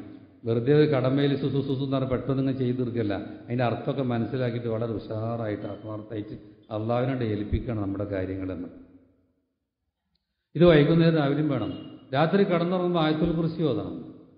അതുപോലെ സൂറത്തുൽ ബക്കറയിലെ രണ്ടാം ഒടുക്ക് അവസാനത്തെ രണ്ട് ആയത്തുകൾ ഓതണം. എന്നാൽ കഫത്തു? അത് തന്നെ അവന് മദീന. എല്ലാ സെറുന്നു കാരണം നമ്മളെ ബാധിക്കാവുന്ന എന്തൊക്കെ ഷെറുണ്ടോ അതിലൊന്നൊക്കെ അള്ള നമ്മളെ കാക്കും. അതിന് അള്ള നിശ്ചയിച്ചൊരു സ്വഭാവമാണ് ഇത് എന്നുള്ളത്. കാക്കൽ അള്ള തന്നെയാണ്. അല്ല ഈ കുറിച്ച് ഇന്നെ സംരക്ഷിക്കുന്ന പറഞ്ഞിട്ട് അവിടെ നിന്ന് അത് എഴുതി വെക്കലോ മറ്റൊന്നല്ല അത് അള്ള നിശ്ചയിച്ച സഭവായതുകൊണ്ട് അള്ളാനെ തന്നെയാണ് നമ്മൾ ഏൽപ്പിക്കുന്നത്. ഇങ്ങനെ നിങ്ങൾ ഓരോന്നും ഇങ്ങനെ എടുത്തു നോക്കും ഓരോന്ന്. ഒരു സ്ഥലത്ത് നമ്മൾ ഇറങ്ങിക്കഴിഞ്ഞാൽ ഔദ്ബി കരിമാത്തില്ല ഇത്താമാത്മി ശരിമാ ഹല എന്ന് മൂന്ന് വട്ടം പറഞ്ഞാൽ അവിടെയുള്ള ദുരിതം നമ്മളെ ബാധിക്കൂല. അന്യ നാട്ടിലൊക്കെ ചെല്ലുമ്പോൾ അവിടെ എന്തൊക്കെയും നമുക്ക് അറിഞ്ഞൂടല്ലോ അപ്പോൾ അവിടുത്തെ ദുരിതം ബാധിക്കാതിരിക്കാൻ ചെയ്യാം. ഇനി നിങ്ങൾ നോക്ക് രാത്രി കടന്നുറങ്ങുമ്പോൾ കയ്യിൽ ഊതിയിട്ട് കുൽഹല്ലാഹു അഹദും കുൽ റബ്ബിൽ ഫലത്തും കുൽ റബ്ബിന്നാസും ഒക്കെ ഓത് മൂന്ന് വട്ടം ശരീരമാസകലം തടവുക. ഇതൊക്കെ രോഗം വരാതിരിക്കാനൊക്കെ എന്തൊക്കെ കെടുതികളാണ് നമുക്ക് വരാം. അപ്പോൾ ആ സൂറത്ത് നിങ്ങൾ ആലോചിച്ച് വയ്ക്കണം ഒന്ന് കുൽ ഹുവല്ലാഹു അഹദൊക്കെ സൂറത്ത് ഇഖ്ലാസ് കഴിഞ്ഞതിന് ശേഷം മുഹബിദത്തിന് വരിക ഒന്ന് കുൽ ഔദു റബ്ബിൽ ഫലക്. പുലരിയുടെ റബ്ബിനോട് ഞാൻ അഭയം തേടുന്നു. ഇവിടെയൊക്കെ ശിഫ നൽകുന്നത് അല്ല മാത്രം. അതുകൊണ്ടാണ് അള്ളാഹുവിന്റെ നാമങ്ങളെ വെച്ചിട്ട് തവസ്സുൽ ചെയ്യാണ് നമ്മൾ ചെയ്യണം അള്ളാഹിന്റെ നാമങ്ങൾ അവൻ മാത്രമാണ് രോഗം ശിഫയാക്കുന്നത്. അതുകൊണ്ട് ഫുൽ ഔദി റബ്ബിൽ ഫലക്. പുലരിയുടെ റബ്ബിനെ കൊണ്ട് ഞാൻ അഭയം തേടുന്നു. അതുപോലെ ഫുൽ ഔദി റബ്ബിന്നാസ് മനുഷ്യരുടെ റബ്ബിനെ കൊണ്ട്. ഫുൽ ഔദി റബ്ബിന്നാസ് മലിക്കിന്നാസ് റബ്ബിന്റെ വേറൊരു നാമം ജനങ്ങളുടെ രാജാവിനെ കൊണ്ട്. ഇലാഹിന്നാസ് മനുഷ്യരുടെ ഇലാഹിനെ കൊണ്ട് ഇതൊക്കെ റബ്ബിന്റെ നാമങ്ങളാണല്ലോ. അതാ വലില്ലായിൽ അസ്മാഉൽ ഹുസ്ന. അള്ളാഹുവിനാണ് ഏറ്റവും മഹത്തായ നാമങ്ങളുള്ളത്. ഫതോബി അത് വെച്ച് നിങ്ങൾ പ്രാർത്ഥിച്ചോളൂ. അപ്പോൾ അള്ളാഹിന്റെ ദീൽ അനുവദിക്കപ്പെട്ട തവസ്സുലുണ്ട്. ആ തവസ്സുലിൽപ്പെട്ടത് തവസ്സുലാണ് റബ്ബിന്റെ നാമങ്ങളെ മുൻനിർത്തി അത് ആദ്യം വെച്ചിട്ട് പിന്നെ നമ്മുടെ ആവശ്യം ചോദിക്കുക. അപ്പോൾ കുൽ ഔദിബ് റബ്ബിൽ ഫല പുലരുടെ റബ്ബിനോട് ഞാൻ അഭയം തേടുന്നു. എന്തിൽ നിന്ന് അഭയം? മിൻ ശരീരമാ ഫലക് അവൻ സൃഷ്ടിച്ച എന്തെല്ലാം കെടുതികളുണ്ടോ ആ കെടുതികളിൽ നിന്ന് മുഴുവനും. എന്റെ ജീവിതത്തിൽ വരാനുള്ള എന്തൊക്കെ കെടുതികളുണ്ടോ അതിൽ നിന്ന് മുഴുവനും. അതിൽ ഒരു കടി എന്നാൽ ഒന്നും നമ്മിൽ നിന്ന് തന്നെ കെടുതി വരിക. നമുക്ക് തകരാറ് ഒന്ന് നമ്മൾ തന്നെയാണ്. നമ്മളിൽ നിന്ന് തന്നെ വലിയ തകരാറ്. അതുകൊണ്ടാണ് റസൂൽ നടത്തുന്ന എല്ലാ പ്രസംഗത്തിന്റെ ആമുഖത്തിൽ എന്താ? ഇന്നൽ ഹംദലില്ല നഹ്മദുഹു വനസ്തഈനുഹു ഒമിനു ബിഹി വനതവക്കലു അലൈഹി. വനഊദു ബില്ലാഹി മിൻ ഷുറൂരി അംഫുസിന ആദ്യം തന്നെ പറയാം നമ്മിൽ നിന്ന് വരുന്ന ഷെറിൽ നിന്ന് നാം അള്ളാഹുവിനോട് അഭയം തേടുന്നു. എല്ലാ പ്രാർത്ഥനയും ഇപ്പൊ പലതൊക്കെ ഉണ്ടല്ലോ പക്ഷേ എല്ലാ പ്രസംഗത്തിന്റെ ആമുഖത്ത് റസൂൽ പറയുന്ന കാര്യമാണിത്. അമീൻ ചെയ്യാധ്യായമാലിൻ നമ്മൾ ചെയ്ത പ്രവർത്തനങ്ങളുടെ കെടുതികളിൽ നിന്ന് നമ്മൾ റബ്ബിനോട് അഭയം തേടുന്നു. അപ്പോൾ കാര്യമായി നമുക്ക് വല്ല പ്രശ്നമുണ്ടെങ്കിൽ മറ്റൊരു കുറ്റം വരണ്ട ഏറ്റവും പ്രധാനം നമ്മൾ തന്നെയാണ്. പിന്നെയോ അടുത്തത് മിൻ ശരിമാ ഖലഖ് വമിൻ ശരി ഓസിഖിൻ ഇതാ വക്കം രാത്രി ഇരുട്ട് മൂടിയാൽ അതിന്റെ കെടുതിയിൽ നിന്ന്. പകലിനേക്കാൾ പ്രശ്നമാണ് നമുക്ക് രാത്രി. രാത്രി ഇരുട്ടാണ്. പിന്നെ കടന്നുറങ്ങുന്ന നേരാണ്. ആരൊക്കെയാണ് നമുക്കെതിരെ വരുന്നത് നമുക്ക് അറിഞ്ഞൂടാ കള്ളന്മാരെ ശല്യമുണ്ടാവാം. അല്ലെങ്കിൽ കൊള്ളക്കാരെ ശല്യമുണ്ടാവാം. നമ്മുടെ വാഹനങ്ങൾ കട്ടുകൊണ്ടുപോകുന്ന ആൾക്കാരുടെ പ്രശ്നങ്ങൾ ഉണ്ടാവാം എല്ലാം നമ്മൾ റബ്ബിനെ ഏൽപ്പിക്കുകയാണ് ഇവിടെ. എല്ലാ കാര്യവും റബ്ബിനെ ഏൽപ്പിക്കുക. പിന്നെ വമിൻ ശരീര നഫാസാത്തിഫിൽ ഒക്കെ കെട്ടുകളിൽ ഊതുന്നവരുടെ കെടുതികളിൽ നിന്നും എന്താണ് അതിന്റെ അർത്ഥം? അസ്തവാഹിർ സിഹിർ ചെയ്യുന്നവർ. മനസ്സിലായോ? സിഹിർ ചെയ്യുന്നവർ നമ്മൾ ചെയ്യുന്നില്ല എന്നുള്ളത് കൊണ്ട് അങ്ങനെ ലോകത്തില്ല എന്ന് വെക്കണ്ട. സിഹിർ ചെയ്യുന്നവർ കണ്ടമാനുണ്ട് മാരണം ചെയ്യുന്നവർ. അവരെന്താ? ആരെങ്കിലും മര്യാദയ്ക്ക് ജീവിക്കുന്നുണ്ടെങ്കിൽ അവർക്കിടയിൽ ഭിന്നിപ്പുണ്ടാക്കുന്ന സിഹിർ ചെയ്യുന്നവർ. പരിശുദ്ധ ഖുർആൻ പറഞ്ഞില്ലേ മായുഫർജുന ബിഹി ബൈനൽ മറിയോ സൗജിഹി ഭാര്യക്കും ഭർത്താവിനും ഇടയിൽ വേർതിരിവുണ്ടാക്കുന്ന സിഹിർ. ഭാര്യ ഭർത്താക്കന്മാർ നന്നായി ജീവിക്കുകയാണെങ്കിൽ അവർക്കിടയിൽ വേർപാടുണ്ടാക്കുന്ന സിഹർ. ഇങ്ങനെ സിഹിർ ചെയ്യാന്ന് പറഞ്ഞാൽ ഇതൊക്കെ ഗോപ്യമായ രൂപത്തിൽ നമുക്കെതിരെ വരുന്ന ഗോപ്യമായി വരുന്ന കാര്യങ്ങളിൽ നിന്നാണ് ഇവിടെയൊക്കെ അഭയം തേടുന്നത്. അപ്പോൾ വലിയ അപകടമാണ്. സിഹിറിനെ പറ്റിയൊക്കെ ആൾക്കാർക്ക് എന്താണെന്നിടാ? എന്തൊക്കെയോ മോശമായിട്ട് ധാരണകളുണ്ട്. എത്ര വലിയ തെറ്റാണ് സിഹിർ എന്നറിയോ അതിന് യാഥാർത്ഥ്യമില്ല എന്നൊക്കെ പറയും. യാഥാർത്ഥ്യമില്ലാത്ത വിഷയത്തിന് ഇത്ര ഗൗരവത്തിൽ നമ്മൾ പ്രാർത്ഥിക്കണോ? അതിനെതിരെ ഏഴ് മഹാഭാവങ്ങൾ നിങ്ങൾ സൂക്ഷിക്കുക എന്ന് പറഞ്ഞു ചിറുക്ക് കഴിഞ്ഞാൽ പിന്നെ രണ്ടാമത് തന്നെ സിഹിറാണ്. ഇങ്ങനെ സിഹിർ ഒരുപക്ഷെ നമുക്കെതിരെ ആൾക്കാർ ചെയ്യുന്നുണ്ടാവാം. പക്ഷെ അത് നമുക്ക് ഫലിക്കാതിരിക്കണ്ടേ? അതിനുള്ള രക്ഷാമാർഗങ്ങൾ അസുഖം വരാതിരിക്കാനുള്ള വഴികൾ നമ്മൾ ചെയ്താൽ പിന്നെ നമുക്ക് ധൈര്യമായിട്ട് ജീവിക്കാം. അതാ രാവിലെ ചെയ്യുന്ന ദിക്കറുകൾ വൈകുന്നേരം ചെയ്യുന്ന ദിക്കറുകൾ ഇതൊക്കെ നമ്മൾ ചെയ്തൊക്കെ അല്ല അതിന് വെച്ച സബബാണ്. എന്നാൽ റബ്ബ് നമ്മളെ കാര്യം ഏറ്റെടുക്കും. റബ്ബ് പറഞ്ഞനുസരിച്ച് ജീവിക്കുക. ഇങ്ങനെയുള്ള ദിക്കറുകളും ദുവാകളൊക്കെ നടത്തുന്ന ആൾക്കാർ അവരുടെ ജീവിതത്തിൽ അവർ എപ്പോഴും റബ്ബുമായി ബന്ധപ്പെട്ട ആൾക്കാരായിരിക്കും. നല്ല തസവുള്ള മനുഷ്യന്മാരായിരിക്കും. നല്ലവരായിരിക്കും. വമിൻ ശരി ഹാസിദിൻ ഇതാഹസ് അതുപോലെ അസൂയ വെക്കുന്നവന്റെ അസൂയയിൽ നിന്നും അള്ളാഹുവിനോട് ഞാൻ അഭയം തേടുന്നു. അസൂയ എന്ന് പറഞ്ഞാൽ എന്താ? നമുക്ക് ഒരു ഹയർ വരികയാണെങ്കിൽ അത് നീങ്ങാൻ പ്രവർത്തിക്കുക. അതോ നീങ്ങി കിട്ടിയെങ്കിലും ആഗ്രഹിക്കുക. അതിന്റെ ഏറ്റവും വലിയ അപകടം പിടിച്ചാൽ നീങ്ങാൻ വേണ്ടി പ്രവർത്തിക്കുക എന്നുള്ളത്. നമ്മുടെ ശത്രുക്കൾ ആരൊക്കെ നമുക്ക് അറിഞ്ഞുകൂടാ? പലതും രഹസ്യമായിട്ട് വരിക. ആരൊക്കെയാണ് നമുക്കെതിരെ പാര വെക്കാൻ നടക്കുന്നതെന്ന് ഒരു വിവരം നമുക്കില്ല. അതുകൊണ്ടാണ് എല്ലാം അറിയുന്ന റബ്ബിനെ ഏൽപ്പിക്കുക. അവന് മാത്രമേ അത് നീക്കാൻ പറ്റുള്ളൂ. അതലാ ഷാഫിയ ഇല്ലാത്ത നീയല്ലാതെ ശിഫ നൽകുന്നവൻ ഒരാളുമില്ല ആ റബ്ബിനോട് നമുക്ക് ബന്ധപ്പെട്ടുകൂടെ? അതാണ് ഈ ദീ നമ്മോട് നിരന്തരം പറഞ്ഞുകൊണ്ടിരിക്കുന്നത്. അവനെ ഏൽപ്പിക്കണം എല്ലാ കാര്യങ്ങളും. പിന്നെയോ ഈ ചെറു ഹാസിദ് ഇതാ അസൂയക്കാരൻ. ആ അസൂയുള്ള ആൾക്കാരുടെ കണ്ണ് കണ്ണുമായി ബന്ധപ്പെട്ടതൊക്കെ പറയുന്നുണ്ട്. കണ്ണിന്റെ ദുരിതം. അതുകൊണ്ട് എനിക്ക് കണ്ണേറ് എന്നൊക്കെ മലയാളത്തിൽ പറഞ്ഞാലും അതൊക്കെ അള്ളാഹിന്റെ ദീൻ ശരിക്കും നമ്മളെ പഠിപ്പിച്ചതാണ്. അതൊക്കെ വേറെ വിഷയമാണ്. പക്ഷെ അതൊക്കെ നമ്മളെ ഏൽക്കാതിരിക്കും ഇതൊക്കെ മറ്റുള്ള പിന്നെ അസുഖങ്ങൾ വരുന്നതിനേക്കാൾ നമുക്ക് തടുത്തു വെക്കാൻ പറ്റാത്ത ചില അസുഖങ്ങളാണ് ഇത് അള്ളാഹാനെ തന്നെ ഏൽപ്പിക്കണം. അതുകൊണ്ട് രാവിലെ വൈകുന്നേരം ഇത് പല വട്ടുണ്ട് കേട്ടോ സൂറത്തുൽ ഇഖ്ലാസും സൂറത്ത് ഫലക്കും സൂറത്ത് നാസും. രാവിലെ മൂന്നട്ടം വൈകുന്നേരം മൂന്നോട്ടം അന്തിക്ക് കടന്നുറങ്ങുമ്പോൾ മൂന്നട്ടം പിന്നെ ഫർലിസ്കാരം കഴിഞ്ഞാലൊക്കെ ഓരോ വട്ടം എന്നാൽ സുബൈക്ക് ശേഷം മൂന്ന് വട്ടം മകരുവിന് ശേഷം മൂന്ന് വട്ടം. അങ്ങനെ നോക്കിയാൽ ഒരു വട്ടം ഒരു ദിവസം പതിനെട്ട് വട്ടത് ഓരോ വട്ടം ഓതണമാണ് അത്ര പ്രധാനമാണ് അല്ലെങ്കിൽ എണ്ണിയൊക്കെ നിങ്ങൾ പതിനെട്ട് പ്രാവശ്യം ഒരു ദിവസം നമ്മൾ ഇഖ്ലാസും ഇഖ്ലാസ് എന്ന് പറഞ്ഞാൽ ഖുറാന്റെ മൂന്നിലൊന്നും സമ നിസ്സാരമായ വിഷയമല്ല റബ്ബിന്റെ തൗഹീദ് ഉച്ചീശ്വരം പ്രഖ്യാപിക്കുന്ന വലിയ വിഷയമാണ് അപ്പോൾ ഇത്തരം കാര്യങ്ങളൊക്കെ നമ്മൾ ജീവിതത്തിൽ ഇങ്ങനെ പകർത്തണം. ഒന്നും ഒഴിവാക്കരുത്. എത്ര തിരക്കാണെങ്കിലും രാവിലത്തെ വൈകുന്നേരത്തെ ദിക്കറുകൾ ഒഴിവാക്കാൻ പാടില്ല. ഇത് വളരെ ശ്രദ്ധിക്കണം. കാരണം നമുക്ക് ഏതുവിധ കെടുതികൾ വരുന്നുവോ എന്തെല്ലാം രൂപത്തിൽ രഹസ്യമായും പരസ്യമായും ഗോപ്യമായും രാത്രിയുടെ ഇരുളുകളിലും അസൂയക്കാരന്റെ അസൂയയിലും മറ്റുള്ളവന്റെ അകപടം അക അപകടം പിടിച്ച കണ്ണുകളിൽ നിന്നുമൊക്കെ ഒട്ടേറെ വിഷയങ്ങളിൽ നമുക്ക് രക്ഷ കിട്ടേണ്ടതുണ്ട് ശിഫ കിട്ടേണ്ടതുണ്ട്. അത് ശിഫ നൽകുന്ന ആൾ അള്ളാഹു മാത്രമാണ്. അവനാണ് അഷാഫി എന്ന് പറയുന്നത്. അഷാഫി ശിഫ നൽകുന്നവൻ അവൻ മാത്രം. അതുകൊണ്ട് അവനോട് ചോദിക്കുക. ഈ വിഷയം കുറേ ബന്ധമുള്ളതാണ്. ഏതായാലും ഇപ്പം ഞാൻ കൂടുതൽ വിശദീകരിക്കുന്നില്ല. അള്ളാഹു സുബാനോത്താലയുടെ മഹത്തായ ഒരു നാമമാണ് അഷാഫി എന്നത്. അതുമായി ബന്ധപ്പെട്ട ചില കാര്യങ്ങളാണ് വിശദീകരിച്ചിട്ടുള്ളത് സർവശക്തനായ അള്ളാഹു നമ്മെ ബാധിക്കാവുന്ന എന്തെല്ലാം കെടുതികളുണ്ടോ അതിൽ നിന്നെല്ലാം നമുക്ക് ശമനം നൽകുമാറാവട്ടെ. വാഹുദാവാൻ അലഹമുല്ലാ റബിൻ വസ്ലാ മുഹമ്മദ്.